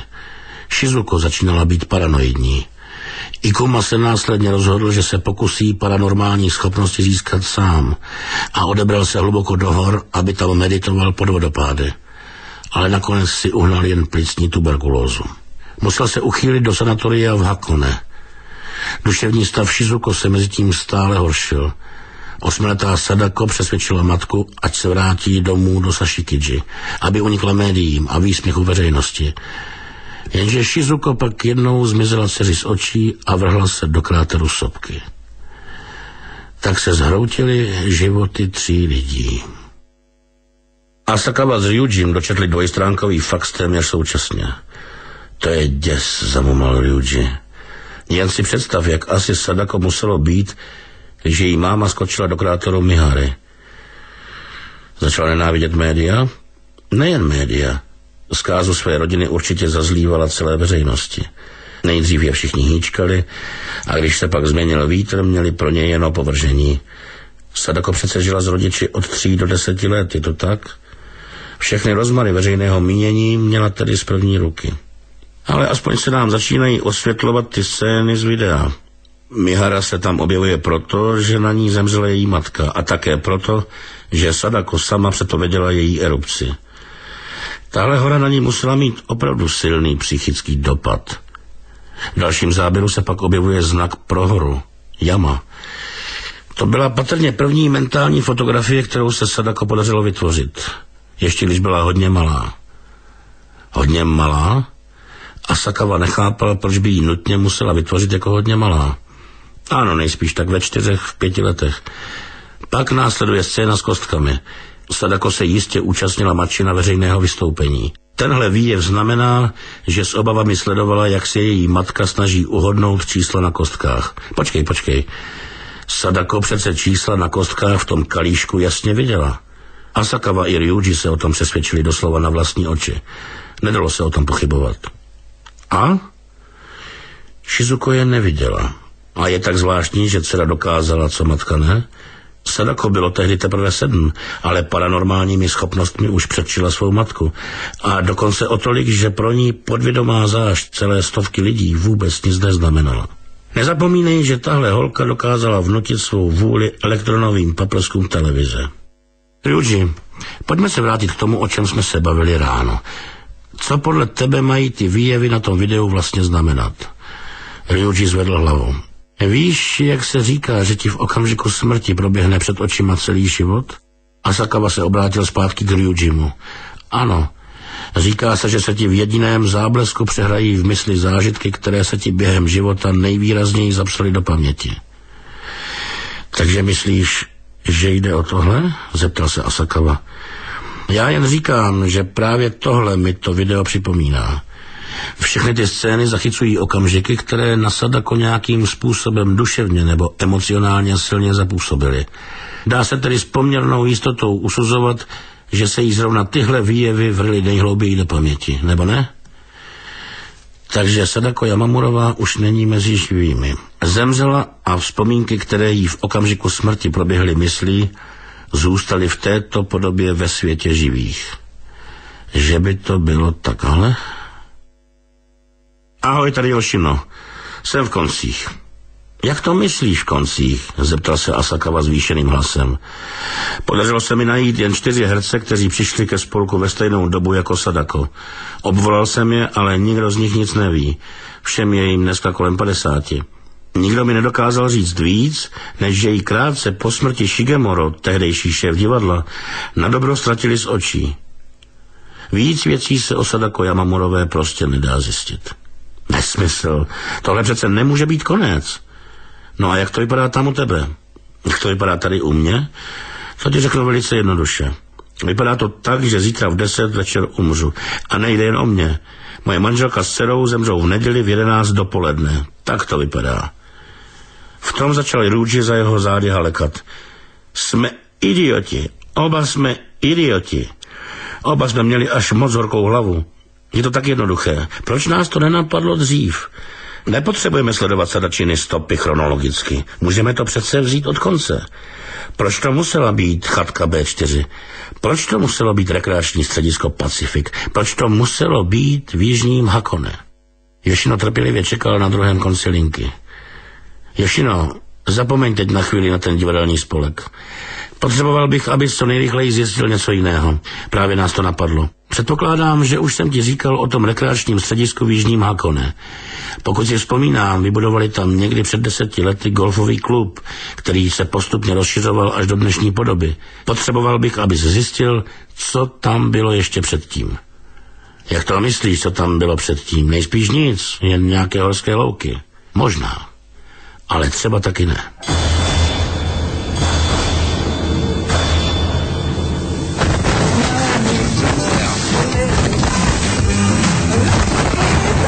Je 18. října, čtvrtek. Bylo 10 ráno. Za 12 hodin to přijde, není vyhnutí. Od chvíle, kdy si v chatce B4 pustil osudné video, už uplynul týden. Připadalo mu to jako před mnoha lety. Aby také ne. Ten týden prožil víc strachu, než většina lidí pozná za celý život. Jejich poslední stopa byl třístránkový výjezd z faxu, který právě držel v ruce. Předtím, než v Jižním Hakone vzniklo rekreační středisko Pacific, nacházelo se na témže pozemku poněkud neobvyklé zařízení. Totiž neobvyklé v dnešní době. Tehdy nebylo na podobném zařízení nic zvláštního. Jednalo se o ozdravovnu pro nemocné tuberkulózou. O sanatorium. Asakawa zastrčil první stranu faxu do spodu a zbylé dvě si rozložil na klíně. Na druhé straně byl prostý nákres, který zobrazoval rozmístění budov sanatoria. Třetí ukazovala hlavní budovu tak, jak vypadala dnes. Elegantní třípatrový dům s informačním centrem a restaurací. Přeskakoval pohledem z jedné strany na druhou. Ty dva listy papíru stělesňovaly bezmála 30 let uplynulého času.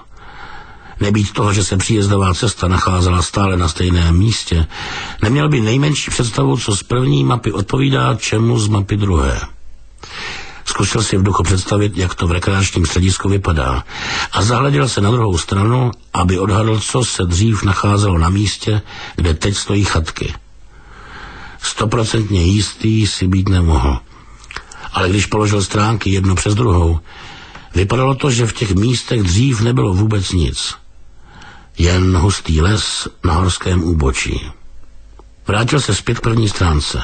Kromě vylíčení přerodu sanatoria v rekreační středisko obsahovala ještě jednu velice důležitou informaci. Jotaro Nagao, 57 let, praktický a dětský lékař se soukromou ordinací v Atami. Doktor Nagao prožil v sanatoriu léta 1962 až 1967, ale celých těch pět let nestrávil jen plněním svých povinností.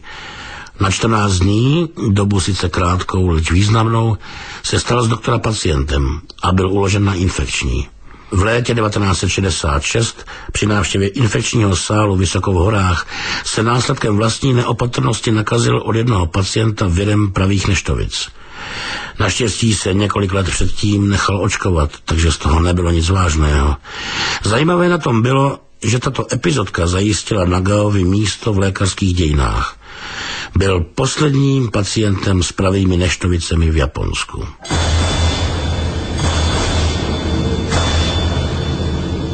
Nagaova klinika se nacházela u nádraží Kinomiya na dráze do Ito nějak zvlášť daleko.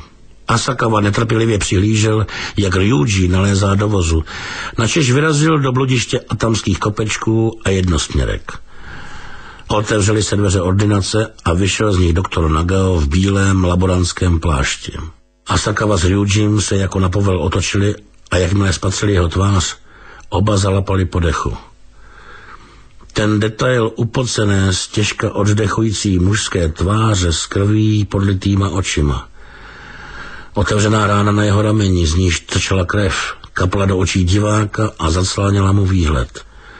Nesmírný tlak na hrudi, vražedný pohled toho muže. Muže, který právě teď stál před nimi. Doktora Naga. Byl sice o dost starší, ale rozhodně to byl on. Kdo jste? zeptal se doktor zvýšeným hlasem. Tak co, kamaráde, co jste to vlastně před 30 lety provedl v sanatoriu v Jižním Hakone Sadako Yamamurové? Zeptal se Ryuji. Ani nevím, kde se to ve mně vzalo. Snad mě horečka a bolesti hlavy připravili o mou obvyklou rozvážnost. To byly první symptomy neštovic, což znamenalo, že už jsem prošel inkubačním obdobím. Byl horký den. Zamířil jsem do zahrady, abych si tam někde sedl do stínu. V tom jsem si všiml mladé ženy, která se tam opírala o kmen stromu a dívala se na svět dole. Byla to dcera jednoho pacienta, který se v sanatoriu léčil už dávno před mým příchodem, jistého Heachira Ikumi, někdejšího docenta z univerzity. Jmenovala se Sadako Yamamurová. Posadil jsem se vedle ní, usmál se na ní a zeptal se jí, jak se daří jejímu otci. Zadíval jsem se jí do tváře. Napadlo mě to tež, co vždycky. Je vůbec možné, aby po tomhle světě chodila žena s tak dokonalými rysy? Stěžka jsem oddechoval horečkou, ale přesto jsem se dokázal ovládnout natolik, abych jí zlehka položil ruku na rameno a požádal jí Pojďme si promluvit někam do většího chládku, někam do stínu. Neprobudilo to v ní nejmenší podezření. Přikývla a začala se zvedat. Když vstávala, předklonila se a já Výstřihem v její blůzce spatřil dokonale tvarovaná ňadra. Byla tak bělostná, že se mi najednou všechny myšlenky obarvily do běla, jako bych z toho šoku do čista přišel o rozum. Měla tak nevinné, tak rozkošné pohyby. Drželi jsme se na lesní pěšině, která nás dovedla až na svah, kde stál starý schátralý domek. Za domkem stála studna a když ji Sadako spatřila, rozběhla se k ní, že má hroznou žízeň. Naklonila se, aby se podívala dovnitř. I já jsem se k ní rozběhl. Ale ne proto, abych se podíval dovnitř. Já chtěl znovu nakouknout Sadaku do výstřihu, až se bude předklánět. Z ničeho nic jsem natáhl ruku, bych se těch malých kopečků na její hrudi dotkl. Šokovaně zvedla hlavu. A ve mně se co si zlomilo. Strhl jsem Sadako na zem, vytáhl jsem jí blůzu přes prsa a pak Vzpomínám si, že se bránila zoufale, kousla mě do ramene. Teprve ta ostrá bolest mě přivedla zpátky ke smyslu. Jak jsem se asi v tu chvíli tvářil. Co asi viděla, když se na mě podívala. Tvář z rudy, nepochybně. Při vyvrcholení jsem si tak připadal i já sám. Když bylo po všem, splažila mě nesměřitelným pohledem. Dosud v leže na zádech zvedla kolena a na loktech se pozadu hbitě odsoukala pryč ode mě.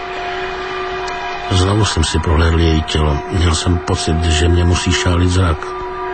Šedou sukni měla celou zmuchlanou kolem pasu a nijak se nesnažila zakrýt si znovu nědra. Do místa mezi jejími stehny dopadaly sluneční paprsky a jasně ozařovaly malou tmavou hrudku. Zvedl jsem oči k její hrudi, překrásně tvarovaná ňadra. Pak jsem se znovu podíval dolů. Mezi stytkými pisky jsem v ochlupení spatřil plně vyvinutá varlata. Nebýt lékař, nejspíš bych z toho byl úplně vedle. Já ovšem o podobných případech věděl z fotografie v lékařských publikacích. Syndrom testikulární feminizace.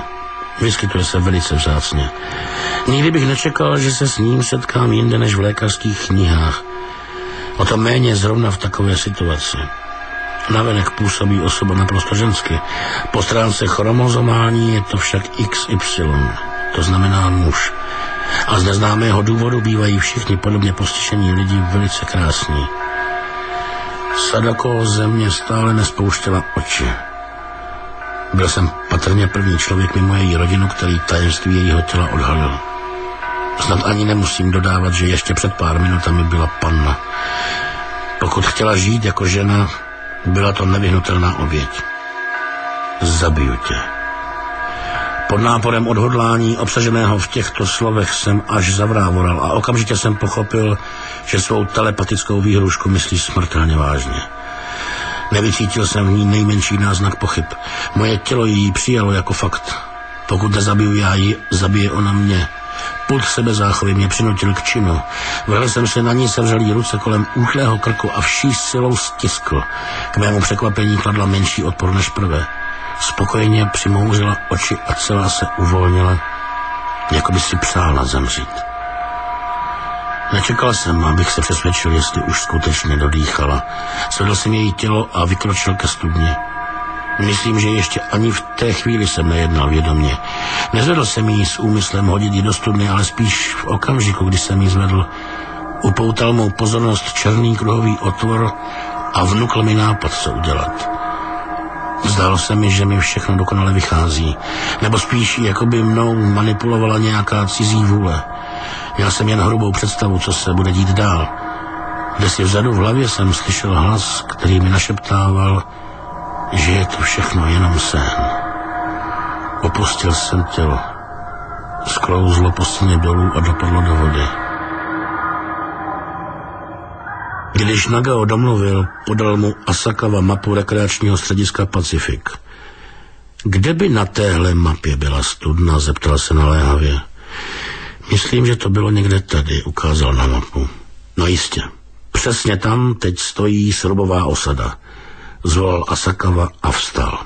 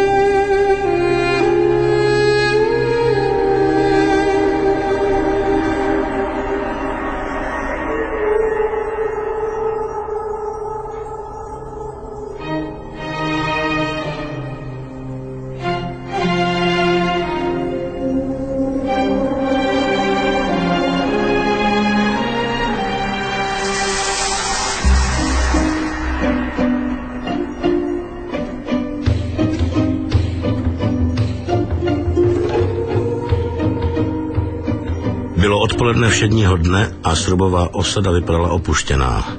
Nájemné chatky se zřejmě plnily hosty jen o víkendech a o letních prázdninách. I chatka B4 byla dnes prázdná. Jedno z prken mezi podpěrnými sloupy balkónu přečnívalo okus nad ostatní. Ryuji pod ně zasunul prsty a vší silou za něj zabral. Prkno se s hlasitým lupnutím asi v polovině na šikmo rozlomilo. Vybavení uvnitř chatky bylo sice moderní, ale tahle prkna tak křehká, že se dala lámat rukou. Ryuji dovnitř stačil baterku a osvítil prostor pod chatkou. Asakawa přistrčil nos k otvoru ve zdi a nakoukl dovnitř. Světelný kužel baterky mířil na černý hrbol u západní stěny. Asakawa brzy rozeznal, že má nerovný povrch, jako hromada kamenů. Nahoře leželo betonové víko. Puklinami v betonu a mezi kameny vykukovala tráva. Asakawa si okamžitě uvědomil, co má nad sebou. Obývací pokoj chatky. A přímo nad kruhovým víkem studny stála televize s videopřehrávačem. Když si tam před týdnem pouštěl tu kazetu, byla Sadako Yamamurová takhle blízko u něj. Skrývala se tady. Sledovala, co se nahoře děje. Ryuji vytrhal další prkna, až vznikl otvor dost velký na to, aby se do něj vešel člověk. Oba se nasoukali dovnitř a dolezli až k okraji studny. Asakawa dobře věděl, co je teď čeká. Aby Sadako dostali ven, téměř jistě se budou muset do studny spustit. Pomoz mi s tím, pobídl Ryuji. Chytil kus železné tyče, která vykukovala z jedné praskliny v betonu a snažil se stáhnout víko dolů na svah. Asakawa se opřel do provizorní páky a Ryuji zároveň zatlačil ze strany. Víko se zmučeným zasténáním spadlo na zem.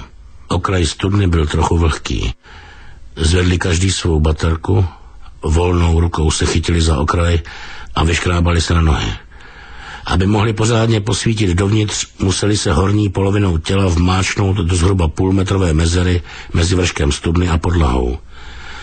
Chladným vzduchem se nesl zatuchlý zápach. Ovnitř studny vládla tak neproniknutelná tma, až měli pocit, že kdyby se pustili rukami, vtáhlo by je to dovnitř. Tak tam někde byla. Žena s neobyčejnými paranormálními schopnostmi, se syndromem testikulární feminizace. Vidíš něco? Zeptal se Ryuji. Kužely světla z baterky odhalovaly, že se na dně studny zhruba čtyři nebo pět metrů hluboko naschromáždila voda. Nevěděli ale, kolik jí tam může být. Ryuji se otočil a uvázal k jednomu sloupu konec lana. Fajn, dolů baterku a drží nad okrajem. Hlavně ji pro boha nesmíš pustit. Zatímco vděčně sledoval, jak Ryuji leze dovnitř, modlil se v duchu, aby na něj nikdy nedošlo. Hej, Asakawa, dojdi blblevík. A taky pro ten tenčí provaz. Asakawa se vrátil ke studni, kde uvázal na konec provazu nádobu s lopatou a spustil je dolů. Ryuji do kbelíku začal lopatou házet zem ze dna studny. Jdi nahoru. Asakawa položeným břichem na okraji studny vytáhl kbelík ven. Vysypal z něj bláto a kameny a prázdný ho znovu spustil dolů. Vypadalo to, že do studny ještě než ji zavřeli, stačilo napadat pořádné množství písku a hlíny. Ryuji vyšplhal po laně. Si na řadě postrčil Asakavu ke studni. Nedokážu to. Nedokážu tam dolů slést. Ryuji ho popadl za límec a dvakrát ho propleskl. Já to z tebe vymlátím. Nedokážu tam dolů slést. Smrt už ti klepe na dveře, tak bys s tím měl něco začít dělat. A žádné já to nedokážu. Nebuď sketa. Nejde to jen o život tvůj, kamaráde. Chceš ty svoje dvě lásky stáhnout sebou? Pomyslel na Shizus jako. Zbabilost si teď nemohl dovolit. Měl jejich život ve svých rukou, jenže ty ruce ho neposlouchaly. K tomu, aby zlá vůle přetrvala na světě i po smrti, jsou zapotřebí tři věci, řekl Ryuji. Uzavřený prostor, voda a pomalá smrt. Za prvé, za druhé, za třetí. Čili pokud někdo zemře pomalu, v uzavřeném prostoru, za přítomnosti vody, pak obyčejně jeho rozezlená duše na tom místě straší. A teď se podívej na tuhle studnu. Je to malý uzavřený prostor. Je v ní voda. A vzpomeň si, co říkala ta stařena na tom videu. A jsi od té doby zdráva? Jestli si budeš pořád hrát ve vodě, chytíte mořské obludy. Hrát si ve vodě, to je ono. Sadako si tam dole v té černé kalné vodě hrála dokonce i teď. Nekonečnou vodní podzemní hru. Asakava skřivil tvář a tiše zasténal. Uzavřený prostor, voda a pomalá smrt. Tyhle tři podmínky umožňují, aby zlá vůle přetrvala i po smrti. Asakava házel lopatou, šátral v bahně. Děsivá únava a stres dočista utlumili jeho nervozitu a on dávno zapomněl na lhůtu, která mu vysela nad hlavou. Připadal si jako opilý, ztratil pojem o čase. Stejně ho nemohl měřit jinak, než podle toho, kolikrát už se k němu do studny vrátil prázdný kbelík podle tepu vlastního srdce. Konečně oběma rukama nahmatal velký oblý kámen. Byl hladký a příjemný na dotek, S dvěma dírami na povrchu. Zvedl ho z vody, opláchl bahno ze všech záhybů. Chytl ho v místech, kde kdysi zřejmě bývaly ušní dírky a zjistil, že se dívá na lepku. Jeho fantazie ji obalila kůží. Do hlubokých prázdných důlků se vrátily velké jasné oči – Mezi nimi se vynořila chrupavka a sformovala se do elegantního nosu. Dlouhé vlasy měla mokré, po krku a spoza uší jí stékala voda. Sadako Yamamurová párkrát zamrkala melancholickýma očima, aby se zbavila kapek na zasah. V Asakavových dlaních působila její tvář hrozně pokřiveně. Přesto z ní vyzařovala původní krása. Usmála se na Asakavu, tak přimouřila oči, jako by se snažila na něco zaostřit. Asakavo, neměl si lhůtu v 10.04? Tak můžeš slavit. Je 10.10. 10. Asakavo, slyšíš mě? Jsi ještě naživu? Kledba je zlomená. Jsme zachráněni. Hej, Asakavo! Asakavo!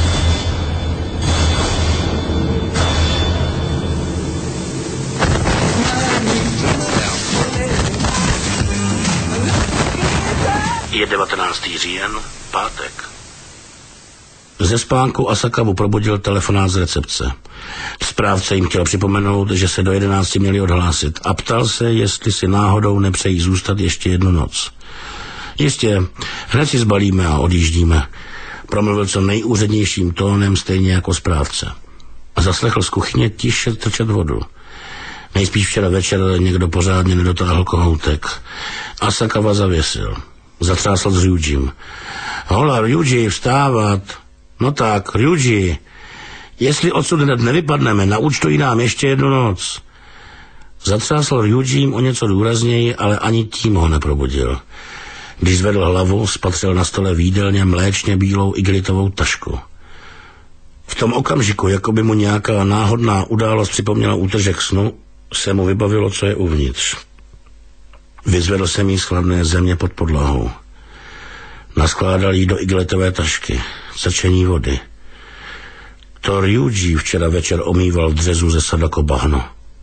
Voda ještě tekla. Vymezený čas už tehdy dávno minul. A přece byl asakava pořád naživu. Ryuji se zvedl na nohy a trochu zavrávoral. Všechny svaly měl stuhlé. I on sám měl problémy přinutit tělo dělat to, co po něm chce. Nemáš náhodou pocit, že to třeba ještě neskončilo? Dělá ti to starosti? Tobě ne? Možná. A proč? Co konkrétně? To, co říkala ta stařena. Příští rok přivedeš na svět dítě. Tohle je její proroctví. Jakmile zjistil, že Ryuji ho pronásledují ty též pochybnosti, zatoužil potom je rozehnat. Třeba se tohle výjimečně týkalo Shizuko, no a ne Sadako. Ryuji to okamžitě odmítl nesmysl. Všechny výjevy na videu pocházejí přímo ze sadačných očí a její mysli. Ta stařena jasně mluvila k tomu, kdo se na ní dívá. To znamená k Sadako. Třeba se to proroctví nevyplnilo. Sadačina schopnost předvídat budoucnost by měla být neomylná stoprocentní. Jenže nebyla po fyzické stránce způsobila rodit děti. Proto je to tak zvláštní. Biologicky byla Sadako muž, ne žena, takže v žádném případě nemohla porodit dítě. Navíc byla skoro až do smrti pana a... A? První, s kým měla v životě styk, byl Nagao. Poslední oběť pravých neštovic v Japonsku. Zvláštní náhoda. Ryuji se mu na chvíli zahladil do tváře, jako by se chtěl ujistit, že ten muž před ním je skutečně živý. Pak dvakrát přikývl. Asi máš pravdu. Pomalu vydechl a opřel se do křesla. Ale stejně, co? Ryuji se znovu napřímil a jako by sám pro sebe se zeptal, co tedy Sadako přivedla na svět? Asakawa se od Ryujiho oddělil na nádraží v Atami. Měl v úmyslu odvést sadačiny pozůstatky jejím příbuzným do Sashikiji a povědět jim, ať jí přichystají důstojný pohřeb.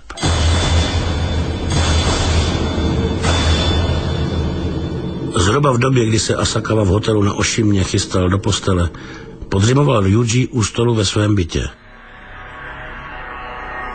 Najednou sekl rameny a obličej se mu nepřirozeně skřivil. Ryuji sebou trhl. Seděl rovně jako s pravítkem v zádech a koulel nepřirozeně vyvalenýma očima. Ty oči byly podlité krví. Zdál se mu sen.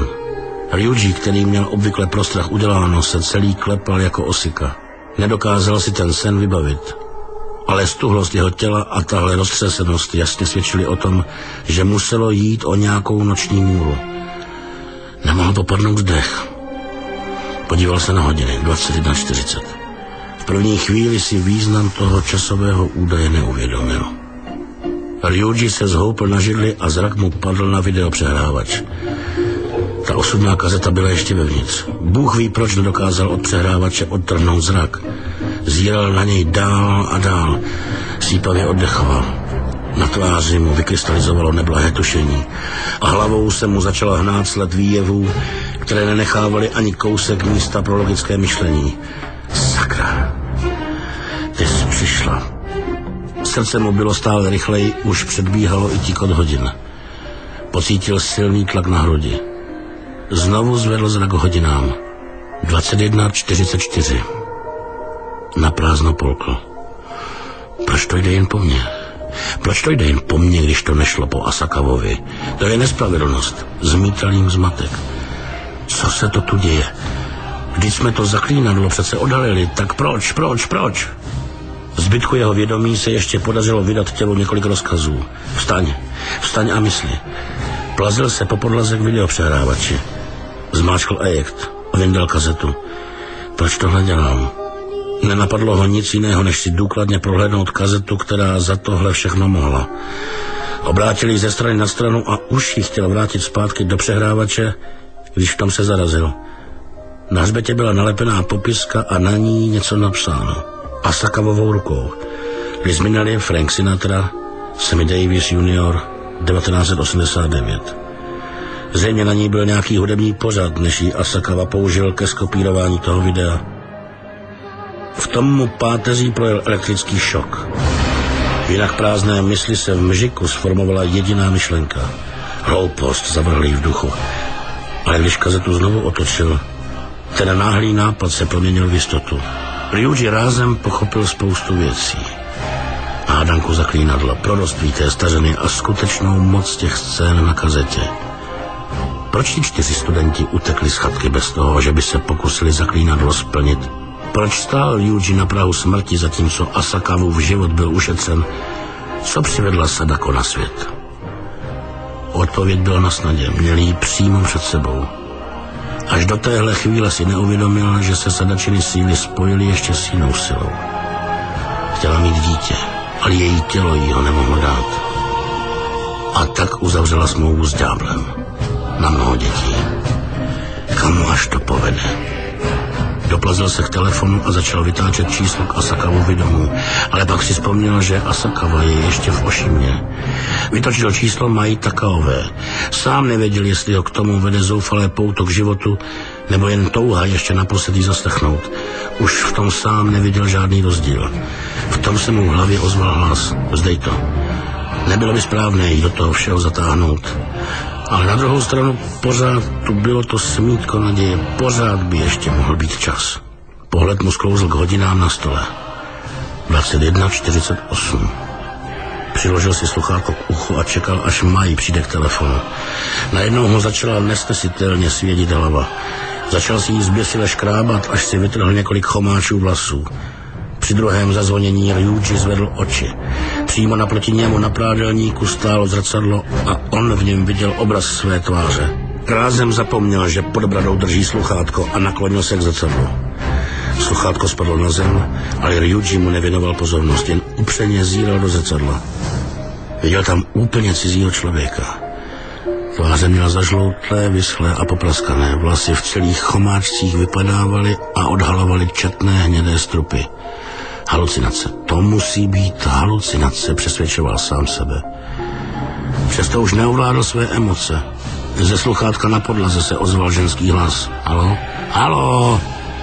Ryuji to dál nedokázal snést. Začal křičet. Jeho křik na dobro přehlušil Máj, takže nakonec svou milovanou přeci jen nezaslechl. Tvář v zrcadle skutečně mohla patřit jemu, ale tak o sto let staršímu. Ani Ryuji by se nikdy nenadál, jaká hrůza může být setkat se sám se sebou v jiné podobě. 21.49. Jeho přání naposledy si promluvit se ženou, kterou miloval, se mu krutě nevyvedlo. Místo slov ji zahrnul jen svým smrtelným sténáním.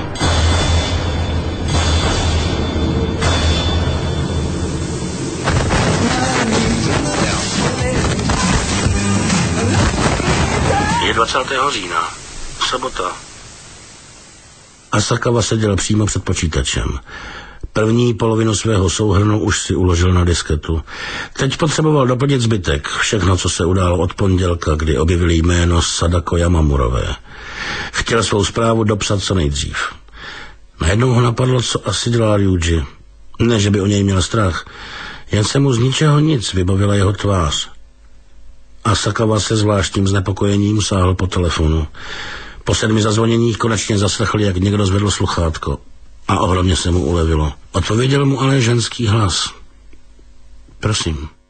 Ten hlas byl slabý a tichý. Asakava už ho slyšel. Dobrý večer, tady Asakava. Ano, ozvalo se tiše. Eh, vy jste asi Maj Takaová, víte. Je tam někde Ryuji? Bylo mu divné, proč Ryuji mu nepředala telefon hned. Pan profesor je mrtvý. Co se to pro boha dělo? Vzpomínky se mu vracely jedna za druhou, ale žádná nedávala smysl. Čím usilovněji přemýšlel, tím méně dokázala jeho mysl vstřebávat a nit mezi jednotlivými událostmi se čím dál víc zaplétala. Až hrozilo, že se úplně přetrhne. Uklidni se. Uklidni se a mysli, nakazoval si. Nakonec si uvědomil, na co se musí soustředit především. Za prvé se nám ve skutečnosti nepodařilo rozluštit zaklínadlo způsob, jak uniknout smrti. Sadako si nepřála, aby někdo vyzvedl její kosti a zajistil jí slušný pohřeb. Přála si něco úplně jiného. Co? Co si mohla přát?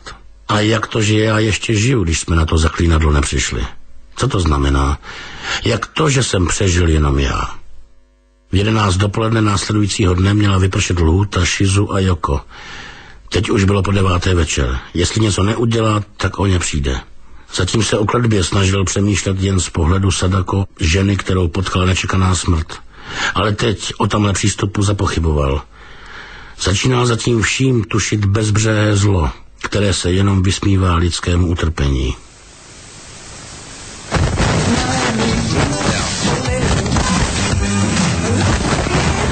Je 21. října, neděle.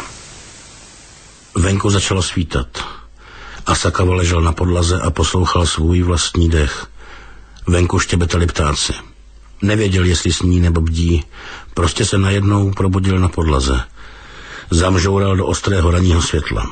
V tom světle se zvolna rozplývaly obrysy lidské postavy. Neměl z ní strach. Strhnutím se probral a zahleděl se na ní. Ryuji. Ryuji, jsi to ty? Postava neodpověděla, ale Asakovovi se z nenadání vybavil titul knihy. Tak jasně, jako by ho měl vypálený přímo do záhybů mozkové kůry. Člověk a epidemie. Jenomže kde v téhle 300 stránkové knize hledat odpověď? Asakawa opět pocítil záblesk intuice. Strana 191. To číslo měl vpálené do mozkové kůry. Otevřel knihu na udané straně. Tam ho okamžitě upoutalo jediné slovo a začalo mu pulzovat před očima. Stále větší a větší. Reprodukce. Základním půdem viru je reprodukce. Virus napadá živé buňky, aby se mohl množit. Aha, vydechl Asakava. konečně pochopil podstatu zaklínadla. To je přece jasné, co se minulý týden udělal Ryujine. Přinesl jsem kazetu domů, skopírovali a dali ji Rujimu. Zaklínadlo je jednoduché. Udělej kopii a někomu ji ukaž. Pomáhej nahrávce v reprodukci tím, že ji pustíš někomu, kdo ji ještě neviděl. Vzal do ruky telefon a vytočil číslo do Ashokagy. Zaprodávám teď svoji duši ďáblu? Abych zachránil manželku s dcerou, chci uvrhnout do nebezpečí manželčiny rodiče. Ale kvůli záchraně své dcery a vnučky budou jistě rádi spolupracovat. Stačí jen, aby pak sami zase udělali kopie a ukázali je někomu dalšímu a budou ze všeho venku, ale pak...